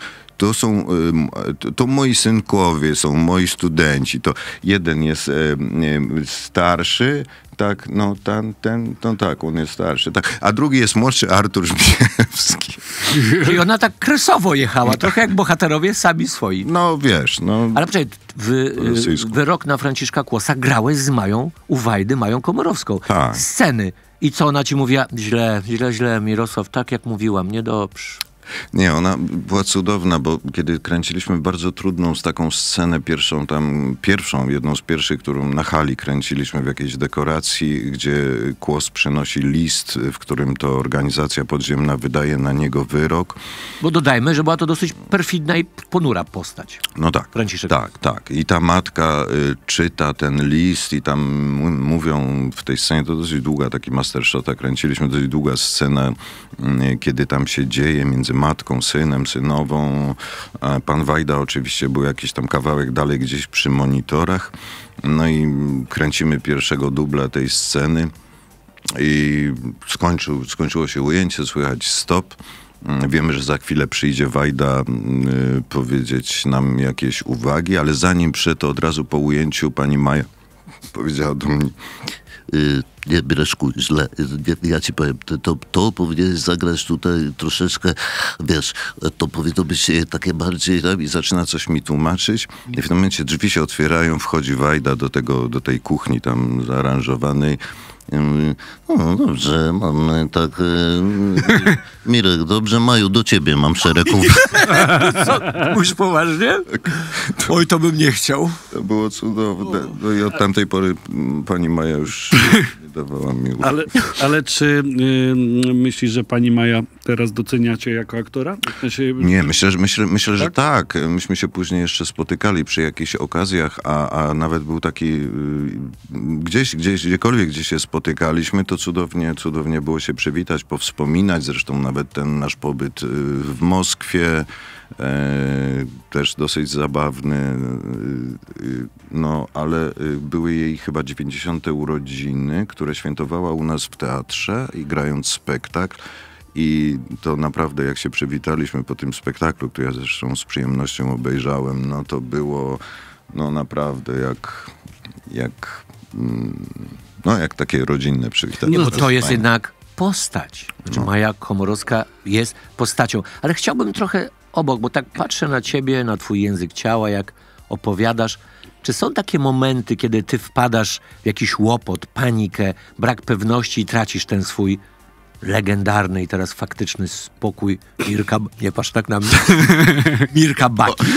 Nie, bo mnie to bawi po prostu, jak ludzie, bo, bo ludzie tak mnie postrzegają. Ale ja ci już widzę en- któryś raz w życiu. Człowieku. Człowiek. Dobra, a- Ale poczekaj, no, no. Ale no co cię, co cię mnóstwo takich No, sytuacji. jedna, no. Taka, Dam że- ci telefon do mojej żony, to ona ci No, ale- powie, że co, co, co parę godzin są. A co, że jesteś histeryczny, że mówisz o rany, o rany, przypaliłem, no zgubiłem, no w- jak to się włącza, jak to się włącza. Tak. Naprawdę? Tak. Ale Pewnie, no co ty myślisz, że ja chodzę po domu i wiesz, Bu, buczysz bu- tylko. buczę tylko. Nie mi się no, z wami no, nie chce Tak- mi się z tak wami cię. Oj, niech się Postrzegam. No Dobra, ale, tak ale nie postrzegaj, skończ. to nie jest Wymasz tak? ten że obraz zobacz, w ogóle, jestem zupełnie My normalny. mamy obraz Baki, taki jaki mamy, bo ty też ten obraz kreujesz. Ja wczoraj, przed naszym spotkaniem, obejrzałem masę wywiadów, to ty jesteś zawsze tak wa- zachowawczy. Ja, ja po prostu widzę, w sensie mam takie wyobrażenie, co się dzieje w twojej głowie, ale jesteś takim procesorem, który po prostu poza, poza ramy bakizmu nie wychodzi. Tak. Że ty się trzymasz po prostu, bo w sensie to jest dobre, Nie oczywiście. widzę powodu, dla którego mam wychodzić poza te ramy. No, no, no. Bakizmu. Dobrze, to ja ci zadam pytanie, może wyjdziesz. Po Dobra, co? to ja już wychodzę. Nie, nie, nie, poczekaj. Skorzystał z okazji. Mirosław, po co był zrobiony film Chłopi 2023? Ale to czemu ty mnie zadajesz takie pytania? Bo wystąpiłeś w tym filmie, zamiaru- więc jesteś jego ambasadorem, proszę cię o odpowiedź. No bo rola była ciekawa i dobrze przemyślana przez reżyserkę, no to Mówisz o chłopach czy o samych... Nie, na razie o chłopach, bo zdajesz sobie sprawę, że na początku powieści Boryna ma, jeżeli dobrze pamiętam, u Rejmonta 56-8 lat, czyli no trochę nasz... Młodszy ode mnie. Tak, był młodszy od nas na początku i był dwukrotnym wdowcem. Czy to jest blisko ciebie postać? Była? No, ale to, to dlatego, że był dwukrotnym wdowcem, albo dlatego, że miał trochę mniej lat ode mnie, to nie była blisko. Ja, ja się dopasowałem do tej postaci, a poza tym ja ciągle miałem takie wyobrażenie gdzieś tam zapamiętane z młodości. Widziałem tego Hańcze, jak zadzwoniła do mnie mm. pani Ewa Brocka z propozycją spotkania z reżyserem i tego. To, to ja mówię, ale do jakiej roli? No do, do Macieja Boryny. I ja odruchowo powiedziałem, to już? No, ale ten film potwierdza jeden wielki, uniwersalny, światowy banał i truizm, że starsi faceci, może z wyjątkiem ciebie, lubią młode dziewczyny. E, to właśnie, ja wszystko, co robiłem w tej roli, to starałem się no, jednak no, pokazać, że to nie jest tak po prostu, że, że, że tak dziadek chciał se tam młodą panienkę do domu. No. Chciał faustowskiego kontraktu z młodością. No, No, no to no. Co, a co, co, to jest grzeszne, to jest pyszne, to jest I nieprawdziwe. to nawet bym powiedziałbym, że mm, takiego opartego na Faustie, ale nie faustowskiego, bo to było takie, takie, miało być takie milsze, cieplejsze, wrażliwsze. Tylko pamiętaj, że jednak literacki pierwowzór pokazuje Jako chytrego, bardzo takiego Nie, prostego. nie, Kuba, nie, Tak, nie. był nie. chytry. Ty to tak przeczytałeś. No, ja to tak odebrałem. No, ty to tak odebrałeś, proszę bardzo, ale ja sobie przeczytałem na nowo chłopów, czytałem się bardzo, bardzo, bardzo. Powiedzieć, że ktoś przeredagował chłopów na nowo jest Nie, nie inaczej? przeredagował, tylko to jest geniusz noblowskiej powieści, że można tam zobaczyć jeszcze coś innego Okej, i możliwe, interpretacja. że mnie się udało. No. Ale to jak dzisiaj, żeby cię trochę właśnie z tej formy wyrzucić, jak oceniasz zdanie fachowych serwisów, a brzmi ono tak. Według specjalistów film ma szansę na nominację nie tylko w kategorii najlepszy film międzynarodowy, ale także najlepszy długometrażowy film animowany, a także najlepsza muzyka filmowa. A tu klapa. No i jak się czujesz z tym? Ja się nie czuję źle, dlatego że jak y, pojawiły się pierwsze informacje dotyczące tej nominacji i tego wszystkiego, to ja mówiłem, dajcie spokój, no, może niekoniecznie, ale to wcale niekoniecznie to nie znaczy, że ja mam złe zdanie o filmie. Ale może masz, jesteś bliżej realizmu niż tego naszego romantyzmu magicznego. Nie masz takiego wrażenia, że ten obraz to po prostu dla świata ciekawostka etniczno-etnograficzno-filmowa? No może, no. no. Ale zobacz, ale, winię ale cię. Vincent... Jestem ciekaw twojego... Ale Vincent był pierwszy w tej kategorii. No. Dlatego poszedł może szerzej. Ale miałeś już takie wizje, że widzisz siebie w Dolby Theatre na, w Los Angeles przy Hollywood Boulevard? Thank you, Academy. Nie, nie miałem takich wizji. W Ale ogóle... tak szczerze, otwórz się, bądź wreszcie. Dobrze, Kuba, ja, ci, ja otw otworzę się w pewien sposób. Dobra. Powiem ci tak, ja nie mam szczęścia, powinienem powiedzieć w tym kraju, ale no, Mhm. nie mam szczęścia do nagród filmowych. Stworzyłem wiele różnych ról, niektóre się nadawały. Gdzieś tam raz w życiu otarłem się o jakąś nominację do Orłów. Ale potem albo nie dostawałem propozycji, albo te moje role czy drugoplanowe, czy jakieś inne nie zostały docenione, nie spodobały się, etc., etc. Więc jak ktoś mi powiedział, że wziąłem udział w filmie, który teraz będzie nominowany do Oscara, to ja y, no, nie, mam, nie mam takiego przyzwyczajenia, wiesz, oczekiwać na jakieś nominacje albo na, oczekiwać na jakieś laury w swojej pracy. Nie mam takiego przyzwyczajenia. Ja po prostu coś robię, jak się podoba. Ale podobno film wszedł do regularnej dystrybucji na całym świecie. Coś z tego wynika dla ciebie, Mirosława Nic dla Baki? mnie nie wynika. Maila dostałeś jakiegoś z Nie, Hollywood? nie dostałem. A nie, bo ty nie używasz Może maila. chociaż z RFN. Używam. Musimy zrobić pauzę. tak, zrobimy pauzę i zaraz wracamy, bo a propos... Ja bym na pewno chciał poruszyć temat komedii romantycznej dla Netflixa, bo uważam, że ta triada na to, ta saga na to zasługuje. Nie wychodź, proszę cię zostać. gość proszony zo- pozostanie. I Zaraz oczywiście wracamy. przejdziemy do samych swoich powrót, bo to warto o tym porozmawiać. Tak! Na najlepsze rozmowy zapraszam marka numer jeden na świecie w produkcji AGD. Haier.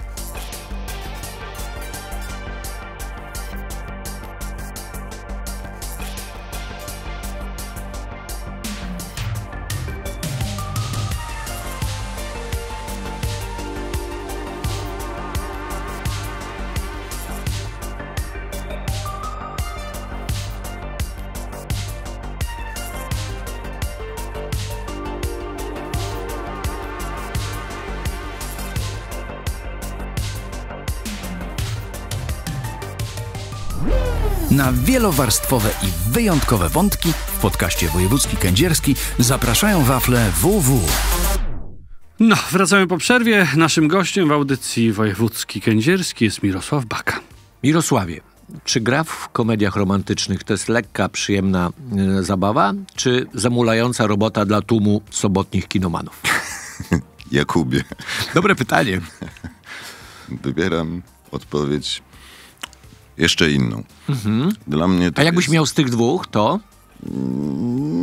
No, nie, no nie powiem przecież. Boisz się. zamulająca. No nie, no ludzie, no nie można tak. Ludzie A to się dobrze starają, chcą się rozśmieszyć, czasami się to udaje, czasami się to nie udaje. No to jest robota. Ludzie chcą oglądać, ludzie chcą się relaksować po pracy, chcą obejrzeć coś lekkiego, nie ciągle być bombardowani. czyli zamulająca robota dla tłumu sobotnich kinomanów. No dobra, ale nie tylko, no, nie, nie tylko. Też dla kasy.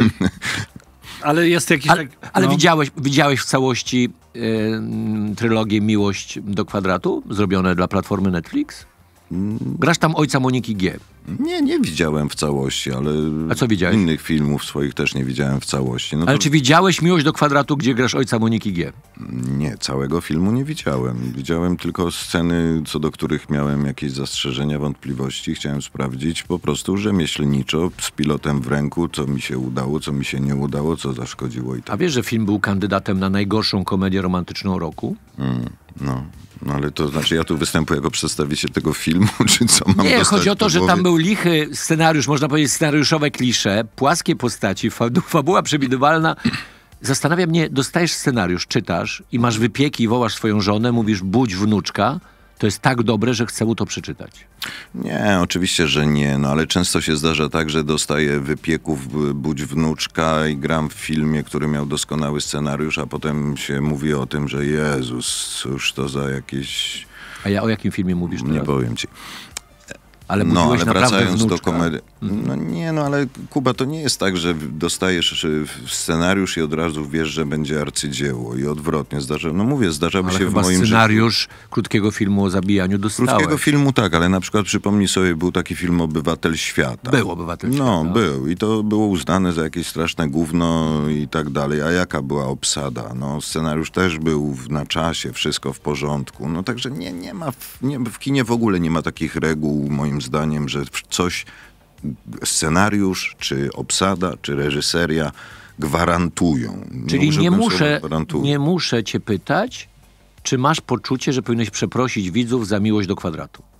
Nie, Bo kiedyś Paweł Małaszeński na przykład przepraszał mnie w programie za swój udział w filmu Ciach, w filmie Ciacho Patryka Wegi. Mówił, przepraszam za ciacho. Po angielsku sorry for the cake. No dobrze, a nie, Ty nie. Nie, nie, nie mam czegoś takiego. Nie, Szanowny nie panie- nikogo za nic przepraszał, Padł- bo zrobiłem najlepiej jak umiałem, jak zrobiłem. A wyszło jak wyszło. No wyszło jak wyszło. Żebyś wiedział, film jest hitem, był hitem Netflixa. I też w innych no, krajach. może i może choćby dlatego warto było wziąć w tym udział. Wczoraj, jak e, czytałem e, twoje e, dosie, szanowny gościu, to przypomniała mi się, mi się taka książka Jakuba e, Sieczko-Pogo o tym, jak on pracował jako sanitariusz. E, e, I powiedz mi, czy ta praca i w ogóle te, te wyrzucenie ze szkoły, praca jako sanitariusz, co dały tobie jako człowiekowi i jako aktorowi? No mogę już odpowiedzieć. Czy... Tak, poproszę. Wiesz, to, to, to jest, ja wcześniej w naszej rozmowie użyłem takiego określenia, że musiałem trochę nażyć. No jest takie sformułowanie przez kogoś fajnie użyte i, jakby to, to, to oddaje wiele w, w, w, w tym znaczeniu polskiego słowa.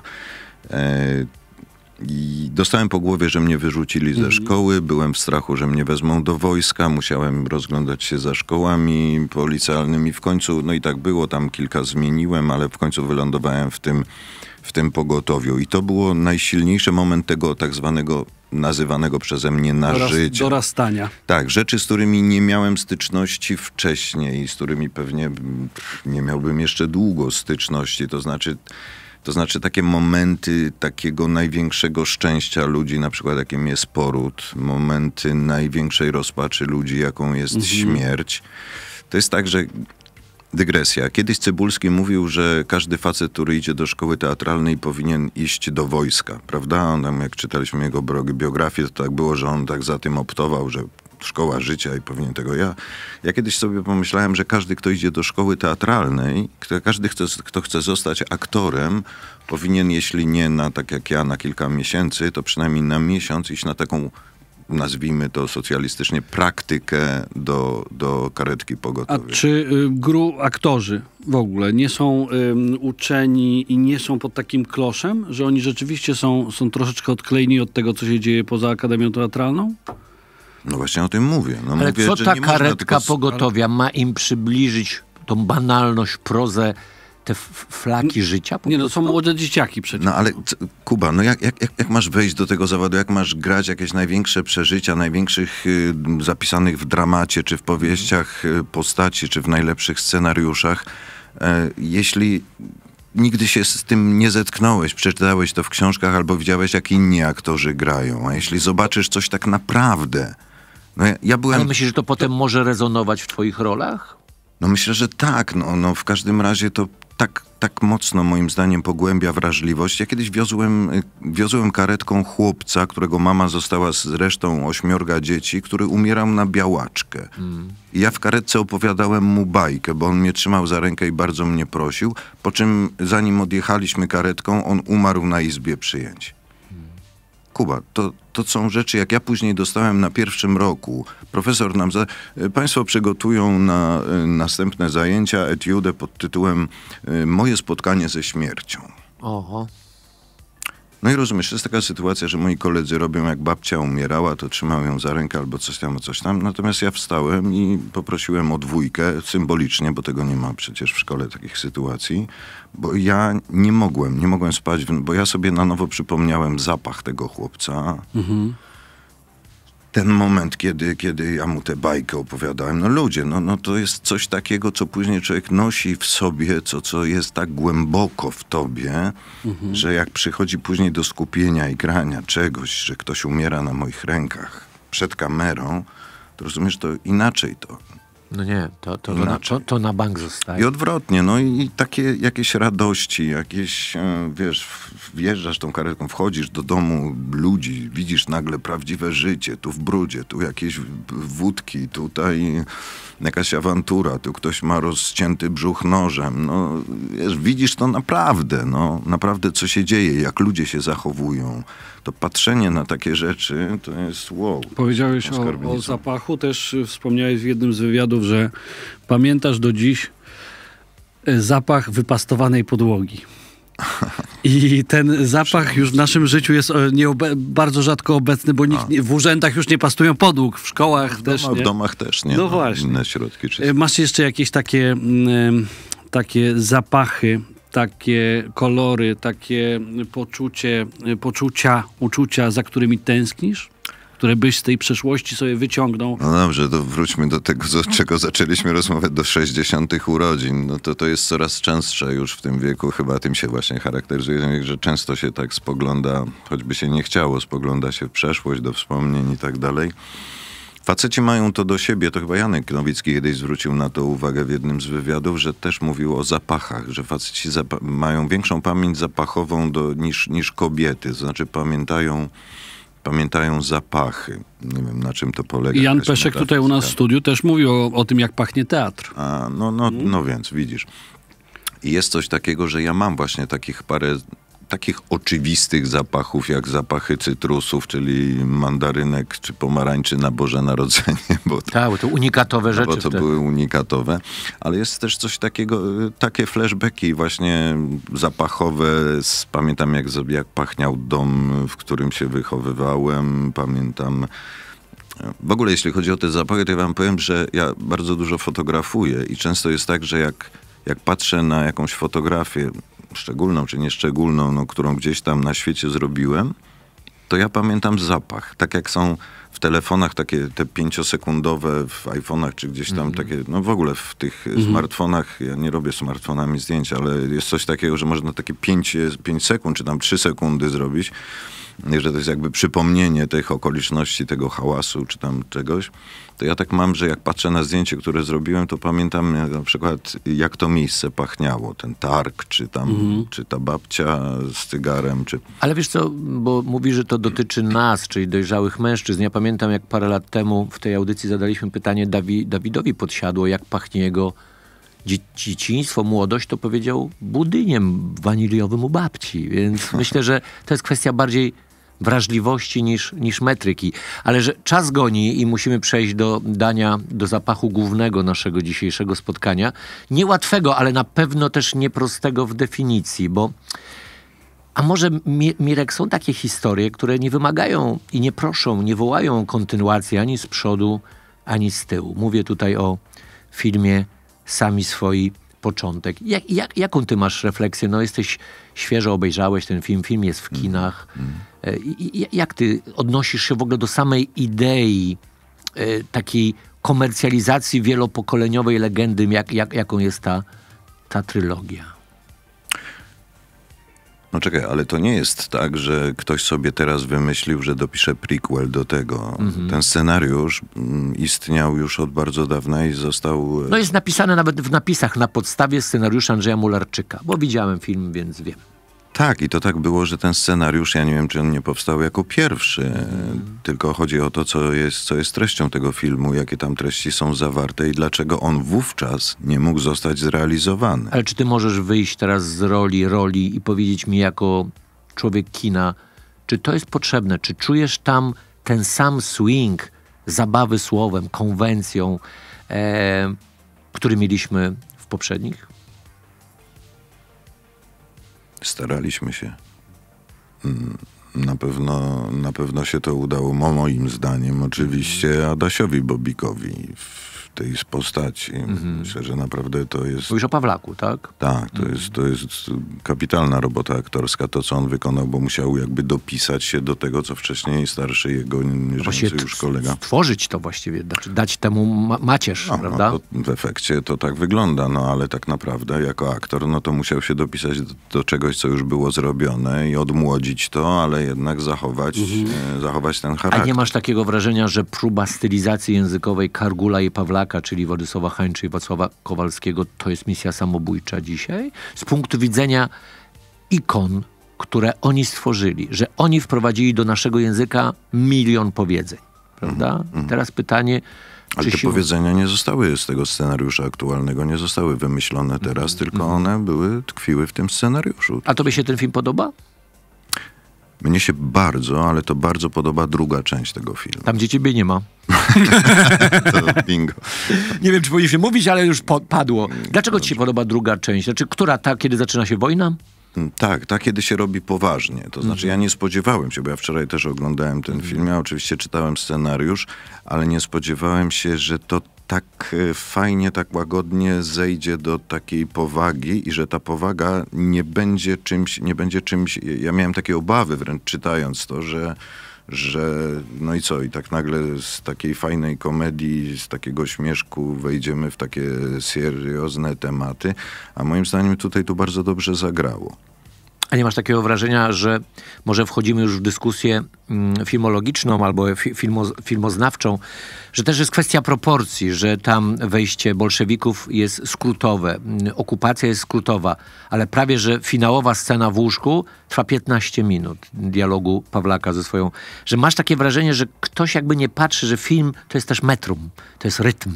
Że z filmem jest jak z graniem na perkusji. Trzeba umieć trzymać ten timing, bo się zgubił uwagę widza. Rozumiem, że tobie się nie podobało to metrum, które było zaproponowane, no bo Zadaję pytanie fachow, fachowcu. ja nie jestem fachowcu, ja jestem aktorem, ja jestem oglądaczem filmu, ja nigdy się nie Czyli rozumiem, że druga część, czyli namawiamy ludzi, żeby przyszli tak gdzieś po godzinie do kina. Jakiś film, tak? Nie, nie zrozumieją drugiej części, ani nie odbiorą jej prawidłowo, jeśli nie A zobaczą Piotruś, bo ty się nie... Nie ja jestem ciekaw, jesteś najmłodszym pokoleniem. Ja się Słuchajcie, wychowałem na... takiego- Bo ja popełniłem wczoraj błąd. Obejrzałem 10 minut samych swoich w nocy po obejrzeniu filmu mm, Sami Swoi Początek. No jest... jest Mm. homerycka różnica. Mi się wydaje. Ale ja myślę, przepraszam Piotrze, jeszcze Mhm. ja ci coś powiem, Kuba. Powinieneś porozmawiać za jakiś czas z jakimś młodym człowiekiem, wrażliwym No pytam albo inteligentnym. Nie, nie, nie. Pokręcić. Nie, nie z tak młodym. Nie, nie. Powiedział młody, inteligentny, to nie my. Z, z, z jakimś młodym pokoleniem, z kimś, kto y, albo mu dostarczysz i dasz mu do obejrzenia cztery części. Ale w jakiej kolejności to jest Takiej, która powinna być. To znaczy, tak jak w Gwiezdne Wojny, nie skakać, tylko żeby obejrzał pierwsza, druga, trzecia, I czwarta. wierzysz w to, że on nie zobaczy Nie, dysproporcji? zapytaj, zapytaj, zapytaj go. Zapytaj, czy on zobaczy dysproporcję, zapytaj, która część mu się będzie najbardziej podobała. My jesteśmy skażeni, my jesteśmy... To jest złe słowo, to jest zachwycało. toksyczne słowo. Nie jesteśmy skażeni, jesteśmy doświadczeni pięknem, lekkością fabularno-językową yy, pierwowzorów. No tak, To inne słowo. No dobrze, nie jesteśmy, dobrze, złego słowa użyłem, masz Zobacz, rację. Dobrze mieć starszych kolegów. Mówię o sobie. Dużo starszy. E, tak, ale wiesz, to jest tak jak, jak, jak z sentymentem do pewnych filmów, które nam się podobały i które gdzieś tam zapisane na naszych twardych dyskach, że zawsze będziemy mieli do nich sentyment, a ogląda to młode pokolenie, też tak się dziwię, a i tak moi synowie mówią, no ale właśnie, no co w tym jest takiego, a ja, kurczę, mówię, to jest świetny film. Hmm, czy ja No tak, bym- ale to był chyba film, e, w, mówię o samych swoich, że to był zupełnie inny czas, e, inny moment. No to e, inny lata bo 60. mnie pierwszy. Ubudł tutaj ten sposób narracji, który, no tak jak język kina się zmienia trochę, No. to tutaj ja miałem wrażenie, że rzeczywiście jest to przeszczepione z tych lat 50. Nie wiem, kiedy pan Mularczyk to, to pierwotnie napisał, ale Dawno. domyślam się, że dawno temu. Ekranizacja była w 60 Zresztą którymś roku. pan Mularczyk jest przecież bratem Romana Bratnego, znanego e, poety. I, e, no, Bardziej pisarza. pi, pisarza. Nie, to jakby... Do, Ja- ja- ja może się- sprecyzuję. Się, jakby mnie ktoś przeniósł, przeniósł A to jest dobra, to jest daleko, dobre wrażenie. daleko, daleko. Ja się tylko zastanawiam, ile razy można odmieniać przez przypadki słowo konus, koniu, koniu, konusie, że to się staje takie słowo klucz, które pokazuje pewną bezradność scenariuszową. Że oni się bawią paroma takimi zwrotami, które pamiętamy, szczególnie z samych swoich, no potem z, z, kochaj albo rzuci, nie ma mocnych. Cholera czuje pewną bezradność i narracyjną, i fabularną, i scenariuszową. Wiem, że to jest nie pytanie do ciebie, ale pytam cię jak Nie, widza. no tylko wiesz, chodzi, ja myślę, że głównie chodzi o to, co od początku y, Żmijewski podkreślał w rozmowach z aktorami, ze, ze mną na pewno, że my się nie próbujemy porównywać z tamtym filmem, bo nikt nie dorówna, znaczy kimś innym jest Chęciński, kim innym jest y, Żmijewski. On zrobił jakby no, swoją interpretację tego scenariusza. No pewne rzeczy, no trzeba było jakby połączyć to, co mówiłem o postaci Adasia Bobika, czy tam no, powinno być w postaci Kargula. E, natomiast no, wiadomo było, że nie unikniemy porównań. No i te porównania no, no, zawsze będą takie, no, że No tak jak Gwiezdne Wojny tu i em, Gwiezdne Wojny z Markiem Hamilem, nie? 30-40 no, lat no, temu. no. To Dla mnie to bardzo jest trudne, próba, tak dla mnie to jest próba, dla mnie to jest próba spróbujmy, Kuba, ten... Ty, działalności Stonsów bez Jagera. No, dobra. Albo Rojka bez No, Smyslowic. No tak, ale ja myślę, że ja myślę, że też twórcy tego filmu liczyli na to, że y, ci młodzi ludzie, którzy obejrzą ten film teraz, bo teraz się ukazał, no będą patrzyli nieskażeni. Znowu chciałem użyć tego słowa, niedobre, wycofałem się bardzo szybko. Którzy nie będą nie mieli tego obciążeni, nie będą mieli tego obciążenia. tego kolorytu kulturowego, który tak, i tego, i, i, i tego sentymentu, bo tam też jest aspekt sentymentu naszego do tego filmu, nie da się ukryć tego starszego pokolenia. Więc oni sobie to obejrzą i będzie to opowieść o tych Polakach, o tych Kargulach i Pawlakach, ale nawet właśnie nie, nie o tym, jak to się zaczęło, tylko no, w ogóle zaczną to oglądać. No tak. To dobrze, to żeby zakończyć tak na miękko, dlaczego warto zobaczyć twoim zdaniem film Sami swój początek? Dlatego, że to jest, że to jest opowieść o Polakach. Takich, taka typowa, Trochę też o Ukraińcach. no ale to znaczy o Ukraińcach, no gdzieś tam w tle. No dobra, o Ukrainkach, żeby było bardziej z twojego świata. no dobrze. Dobra. Y, Czyli, że to jest opowieść o Polakach. Tak. Oglo- tak, słuchają nas, wtedy. oglądają producenci filmowi. e, wszelacy. I e, teraz e, cytat z ciebie. Zawsze wpisuję w kalendarz daty, w których, żeby nie wiadomo co się działo, po prostu nie pracuję. W takim razie, jak wygląda ten kalendarz Baki? Kiedy, kiedy do ciebie nie dzwonić? Kiedy jesteś wyjęty? Cudowny temat, nie praca.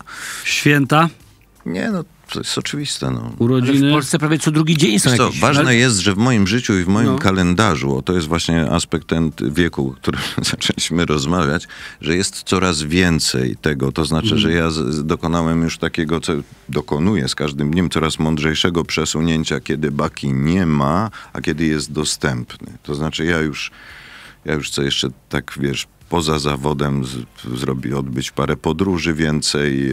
Zdjęć porobić. Trochę zdjęć porobić, z wnukiem pobyć w domu. Y, No bo kiedyś to było, tu nie mogę, bo tu mam zdjęcia, tu nie wyjadę, bo teatr się nagle zatrzyma i tak dalej. A jest jakaś taka data niestandardowa poza świętami, nie, nie ma, nie urodzinami? nie, nie, tylko nie ma dat niestandardowych. Znaczy jest jedna, powiedzieliby w sekretariacie mojego teatru. W listopadzie to zawsze baki nie ma. Bo listopad jest, listopad jest czym? Szary. Nie, Y, że- 11. To jest listopad, to niebezpieczna pora dla Polaków. okej. E, Dla mnie bezpieczna, dlatego że ja zawsze planuję podróże dalekie do takich y, właśnie egzotycznych jakichś krajów w listopadzie. No, kiedy tu jest po prostu szaro, Listopad jest brzydko. piekielnie depresyjny w Polsce. W Polsce. Tak, no. ze względu i na y, święta, które są, aurę, która się zmienia. No dokładnie. Listopad jest dowodem chory, choroby natury po prostu. Tak. Natura choruje. No tak. Ja wtedy Ja właśnie zrywam kaszle. się Tak. wtedy stąd i jadę tam, gdzie świeci słońce, gdzie można sobie obejrzeć inny Ale świat. ja mu, muszę, żeby zamknąć ten temat. Mm, y, grałeś w, w chłopach, potem sami swoi. Czy ty wierzysz w tą falę chłopomanii, która nas teraz podobno zalewa? Mówię oczywiście o super książce Chłopki opowieść o naszych babkach, czy Adama Leszczyńskiego Ludowa historia Polski. Czy naprawdę wierzysz, że Polacy zaczynają bez wstydu wreszcie odkrywać swoje korzenie? Bo jeszcze niedawno 70% z nas przyznawało się do arystokratycznego albo przynajmniej burżuazyjnego, mieszczańskiego rodowodu. Wiemy, że tak nie jest. Nie śmiej się. Trend taki, wiesz, taka, No. taka moda się zrobiła. No. Znaczy ona jest dla mnie karykaturalna, ale jestem ciekaw, No czy ty... jest, no ale, ale dobrze, że jest. No, niech, niech to wynika z mody, że coraz więcej tematów przestaje być tabu i że możemy sobie o tym pogadać, że pan mm, wspaniały chirurg powie otwarcie, że jego pradziadek chodził za pługiem albo... No nie wiem, ja to mówię też z, z takiej, bo udzieliłem wielu wywiadów po chłopach na temat mojego pochodzenia i, i też y, nie mam inteligenckiego pochodzenia, tylko robotnicze, a całkiem niedawno chłopskie, więc proszę bardzo, chodzi o to, że- że- się i mówię o tym No, no właśnie, bo ja się, ja się zastanawiam, czy to jest trend, czy to jest wreszcie dobre alibi dla wielu Polaków, żeby przestać się napinać, że jest się herbu ślepowron. Jak ja widzę moich kolegów z branży, z, z, mediów, którzy noszą te sygnety, to się chce płakać po prostu. No to- Dobra. To nie, nie zawiera się w trendzie, tylko to jest jakieś wynaturzenie, ale, Mhm. Ale, to, no, ale to dobry trend. No są różne trendy, ten akurat jest dobry. Okej. Ale ed- edukacyjnie to jest fajne, żeby poznać swoją, swoją historię bez takiego... Bo niektórzy nie chcieli tam pogrzebać w tej genealogii Poznać, e, swojej, nie? poznać ją i nie wst- ale przede wszystkim nie wstydzić się, nie mieć obciachu To- z tego, że Jezu. Tak, ale poza tym, żeby mieć też świadomość, ja polecam tą książkę Chłopki, y, bo jak sobie poczytamy, co jedli nasi pradziadowie, jak sobie poczytamy o tym, że pańszczyzna to było naprawdę realne niewolnictwo, to trochę inaczej spojrzymy No, też na to, dlaczego w Polsce jest dziś tak, jak jest. Panie, panie Mirku, rodzicielstwo, kolejna kategoria. E, pytanie jest takie, bo gadaliśmy tutaj o swoich przodkach. E, I zastanawiałem się wczoraj, jak to jest być dzieciakiem, czy to jest fajne, być dzieciakiem pary aktorów. Gadaliśmy o tym, że aktorzy troszeczkę są z, in- z innej bajki. Nie? Chyba, że będą sanitariuszami i stracą Nie wiem, dlaczego to do mnie pytanie. Zaraz zadzwonimy do syna. No nie, właśnie. ale pytanie jest, czy, czy, czy to, jest, to jest zarówno wyzwanie, czy to za, dla was było wyzwanie, dla ciebie i dla twojej małżonki, ale czy y, dzieciaki nie są, bo, no bo wiemy, że, że dużo jest różnic pokoleniowych aktorskich, nie? Czy Mhm. oni też nie czuli presji, że kurczę, no bo syn jest operatorem, prawda?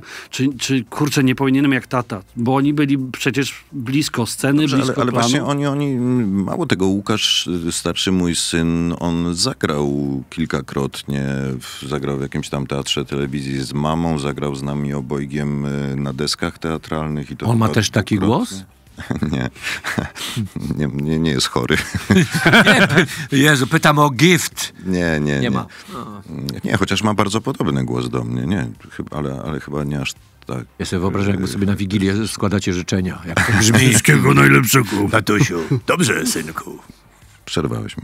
Przepraszam, tak. No dobra, jak to jest być dzieckiem No. aktorów? No, Małżeństwa i, aktorów. i, i on, ym, on zjawiał się na planie czasami, też jak ja kręciłem na przykład w Gdańsku coś to był, ale ja już od początku zauważyłem, że on tak y, strasznie go rajcowało patrzenie na, właśnie na kamerę, czyli dosyć szybko się, no niby w branży, ale ukierunkował e, Na technikę. Kupiłem jakąś, y, tak, tak, kupiłem jakąś kamerę, pamiętam taką ósemeczkę, co się takie Sony pojawiły, jak się już młodszy syn urodził i poszliśmy do, do zoo w Oliwie, taki wiosenny spacer. No i tato sfilmuj to, tato sfilmuj tamto, ja już miałem dosyć tego i mówię, wiesz co, to jest mała kamera, nie ciężka, weź sobie, sam sobie sfilmuj. No i on zaczął tą, bawić się tą kamerą, filmować, no i tak to się A zaczęło. zna słynny zwrot Andrzeja Wajdy, lupa mi paruje? Ja nie znam. No, A ja znam. Powiedz mi, bo czas nas goni, a to jest trochę taki temat, jakbyśmy naprawdę dotknęli trylogii albo czegoś jeszcze większego. Czy jest coś, o czym nigdy, ale to nigdy nie powiedziałeś odnośnie filmu, krótki film o zabijaniu? Bo to jest analizowane yy, i w Polsce. Ja zauważyłem podczas moich pobytów w Japonii, że oni tam mają absolutnego pierdolca na punkcie Kieślowskiego. Czy coś jest takiego, co mógłbyś nam powiedzieć, czego nigdy nie, nie ujawniłeś, nie przypomniałeś sobie? Bo to jest fenomen kulturowy, kolejnych pokoleń już taki będzie. Pamiętasz coś No takiego? cię, ale chyba już wszystko na ten temat zdążyłem przez A te czy ten film 35 był, a, a lat przykład, czy ten powiedzieć. film był mocno cenzurowany? Bo ja pamiętam dłuższą i krótszą wersję tego filmu. Nie, bo ty pamiętasz film... e, Kinowy i telewizyjny. Krótki film o zabijaniu i pamiętasz Dekalog 5, ale Tak. to były dwa różne filmy i to nie o to chodzi, że jeden został skrócony, tylko podczas kręcenia już było No wiadomo. ujęcia do Tak. kina i były ujęcia do... Ale to, to, no to powiedzmy, to jest wersja reżyserska, ale czy pamiętasz, no jednak ten film powstawał w czasach, kiedy jeszcze państwo mocno patrzyło na kino. Ale ja nie przypominam sobie takiego momentu, żeby Kisiel mówił, że coś było cenzurowane. Mhm. Tam była inna śmieszna historia. Jak pojechaliśmy do Niemiec z tym filmem, Niemcy, jak wiecie, wszystko dubbingują. Mhm. Kiedy przyjechaliśmy na pierwsze pokazy do Berlina Zachodniego, czy do Monachium, już nie- wiem, ale nagle się była jakaś straszna afera. Nie, w Berlinie Zachodnim to było takie kino artystowskie na Kantstrasse i myśmy weszli przed projekcją z Kieślowskim i on kazał sobie puścić początek, żeby zobaczyć ten dubbing i nagle y, zabronił pokazywania, dlatego że nie, Niemcy, zachodni Niemcy myśląc o nas, to potraktowali, to, było jak bajka, bo wszyscy do wszystkich mówili pergenozę, czyli towarzyszu. Oj. Do tego stopnia, że tam chyba y, naczelnik więzienia do księdza, ksiądz do tego, wszyscy zwracali się Wszyscy do byli siebie towarzyszami. mówili towarzyszu. Musieli Czekaj. w ciągu doby zrobić nowy To dubbing. był rok 88, czyli Tak. poniekąd, ale to już ta optyka nas jako najweselszego baraku komuni- w komunizmie chyba powoli gasła, nie? No, zwłaszcza jak Tagalog się ukazał, no No. to tak inaczej. A czy to prawda, czy ty słyszałeś takie informacje bardziej spo, o społecznym odbiorze tego filmu, że drastyczność sceny egzekucji wpłynęła na władzę, że w 88 wprowadzono moratorium na wykonywanie kary śmierci? No, ja nie myślę, To że jest legenda. No, myślę, że to jest legenda, no bo nie, nie drastyczność jakiejś sceny, tylko No scena prostu... była drastyczna. W tej Okej, dłuższej wersji, czyli okej. kinowej, Wiesz co, mogła na Francuzów wpłynąć, jak to ten film został pokazany w Cannes, w, na tym festiwalu Piękno Duchów, no to przecież co tam się działo? Tupanie, jakieś protesty. No, podczas Scena, w którym wyprowadzają cię strażnicy i w taki fizyczny sposób wręcz dokonują egzekucji, jest przerażająca. Do dzisiaj jest przerażająca. No jest, jest, tak naturalistyczna. no, nie mogła mieć wpływu na polityków, umówmy się. To w ogóle jakby cały przekaz filmu, no jakiś Mm. protest przeciwko zabijaniu w, w, majestacie prawa, no to, to tak można to potraktować. Powie- Powiedziałeś, że twoje pierwsze spotkanie, i to mnie uderzyło z Kieślowskim, że on w ciągu pięciu sekund otworzył cię tak, że opowiadałeś mu wszystkie intymne historie z twojego życia i nie było to nawet wymuszone przez niego, po prostu miałeś taką, pojawiła się jakaś taka potrzeba w tobie. I czy pytanie jest takie, bo wydaje mi się, że kino Kieślowskiego jest takie, które otwiera widza, że ty to widzisz i myślisz sobie o, o swoich takich małych demonach. I skąd on miał taką, taką łatwość, nie tylko na ekranie, ale w kontakcie osobistym, żeby, żeby po prostu z ludzi obnażać i wyciągać z nich informacje? Ale skąd mnie to wiedzieć? Skąd on to miał? On miał coś takiego po prostu. No potrafił takie pytanie zadać człowiekowi albo tak przyjrzeć się, tak wiesz, i, i coś powiedzieć, że... Ja często mówiłem o jego, sposobie, o jego sposobie reżyserowania, który dla mnie był tak zaskakujący, nie do wyobrażenia w ogóle dla studenta trzeciego roku. Jak ja mu myślałem całą noc i o jakiej scenie i tego i przychodziłem rano na plan i taki zniecierpliwiony biegłem do niego, żeby mu zadać e, jakieś pytanie dotyczące sceny, a on mi odpowiadał, tego nie musisz wiedzieć. Koniec. Bardzo edukacyjne. Koniec, kropka. Żebyś wiedział. No. To znaczy, to, to później dopiero po jakimś czasie ja zrozumiałem, jak bardzo mi się przydało to, że ja się na tym nie koncentrowałem. I on, a on najkrócej i bardzo, bardzo dobrze. No, wiedział, że taka odpowiedź mnie nie zniszczy, nie rozwali. Ale nie masz takiego wrażenia, że im jesteśmy starsi, tu możemy na Piotrusia spojrzeć trochę z góry, tym fajniej jesteśmy wątpiący, mający wątpliwości, że ja im bardziej zbliżam się do, do ostatniego aktu, tym więcej nie wiem. I to jest cudne, że z wątpliwości bierze się ferment. Też bardzo to lubię, Kuba. Żebyś wiedział, też bardzo to lubię. Ty kiedyś powiedziałeś, Fausta grałem niedawno, wiesz, tam się fajnie... No to znasz ten Tam. temat. Nie chcę być strasznie sympatyczny dla wszystkich. Tak powiedziałeś. No. To jest fajne punktum, bo taka... Każdym mocna- rokiem zwiększa się ludzi, wzrasta liczba ludzi, którzy mogą mnie pocałować w dupę. Tak, jest... ale wiesz co, ja po raz kolejny i myślę, że Piotruś chyba po raz pierwszy czujemy się wyrzuceni poza ten margines, bo ja uważam, że to jest bardzo sympatyczna rozmowa. Każda rozmowa ze mną jest bardzo sympatyczna wbrew pozorom. A ty naprawdę marzysz wyłącznie o takich wywiadach, na których padałyby pytania, na które byś odpowiadał tak i nie? To jest twoje marzenie? Nie, no oczywiście Ja ci czasami... mogę zadać takie pytanie, na które nie odpowiesz tak albo nie. Wal. Przestałeś już na plan filmowy przychodzić pijany? Nie. Okej, dziękuję. Panie i panowie, dziękujemy bardzo serdecznie. To była w, przyjemność ym, i wielka Ale to ym, nie znaczy, że przygoda. przychodzę. I Nie, nie, wielka poczekaj, przygoda. Przyszłościowo. U Powiedziałeś. nas w podcaście. E, Przepraszamy, co złego to nie my. Przepraszam o, o te pytania bez pytania. E, Panie Kubo, bardzo Ci dziękuję na, na, na, na, to, za to mm, spotkanie, ale jest jedna taka rzecz, którą, którą muszę jako taką ratę Ci zadać pytanie. Czy masz, ono będzie dziwne, ale mnie ono dotyczy, bo, bo, bo ja mam taki problem. Czy masz w kanonie lektur obowiązkowych z okresu szkolnego taką lekturę, nie wiem, typu syzofowe prace, siłaczka czy nadniemnem, której nigdy nie przeczytałeś i po latach czujesz, że masz poczucie winy wobec autorów, siebie, swojej edukacji? Nie mam takiego poczucia, Kuba. Chyba większości lektur nie przeczytałem, jakieś bryki udawałem, coś. Ja nie byłem aż takim pilnym uczniem. A to nie o to chodzi. Chodzi o pewien rodzaj takiego dyskomfortu kulturowego, że już wiemy, znaczy Piotruś jeszcze może masz, ale Mirek, popatrzmy sobie w oczy. Przeczytasz kiedyś, kiedykolwiek nad Niemnem sięgniesz?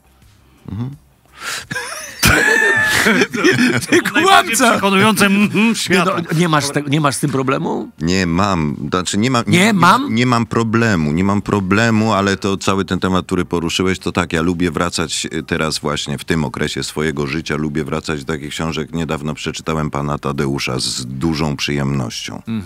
Bez powodu. Nie, nikt nie będzie ekranizował pana Tadeusza i mi nie dał. Chłopów czytałem inaczej, ale lubię wracać do tych książek takich ważnych No. kulturowo, co powiedziałeś, które, no, które należy przeczytać. I teraz Słowo należy wieku właśnie nie, nie, nie. Ja uważam, że nie. należy Wypadałoby, no powiedzmy, no. jest jakiś. No Dobrze, dobrze, jeśli przeczytasz, no mogę ci różne... Ja należę do osób, przepraszam, y, to nie jest wywyższanie się, tylko by- bycie w tej mniejszości, która lubi czytać i która uważa, że to jest, że żyje się podwójnie, potrójnie. A jaka książka najbardziej wpłynęła na twoje życie? Jedna, jakbyś tak wydestylował z tych 70 książek, które przeczytałeś. Dzieci z Bullerbyn. Nie, A nie ma to, takiej wbrew pozorom to jest mądra rzecz. Oczywiście i nie bez kozery nagle ten tytuł No. wymieniłem. Dobrze, ale to nie jest ta książka, która wpłynęła na moje życie i nie ma jednej książki. A ja uważam, Znowu, że każdy z nas ma jedną książkę. Tak jak w moim przypadku, nie wiem, typu Samotność długodystansowca, Nocny Kowboj, czy kultowy wręcz dla mnie Lot na kukułczym gniazdem. Są książki, Buszujący w zbożu. Buszujący w zbożu. Czy czytasz taką książkę i ona, to jest y, ekstrakt tego, jak ja żyję, jak ja chcę żyć. Czyli Buszujący w zbożu. No jest taka książka bardzo ważna dla mnie, Mag Fowlsa. To nie znam. Mm, Ale Buszujący w zbożu, nie wiem czy wiesz, że Mark Chapman, y, który zabił Lennona, był wielkim fanem Buszującego w zbożu. No i nawet miał egzemplarz w momencie, kiedy strzelał do Lenona. Dziękujemy bardzo Ładne serdecznie. zakończenie. Zakończyliśmy książkowo.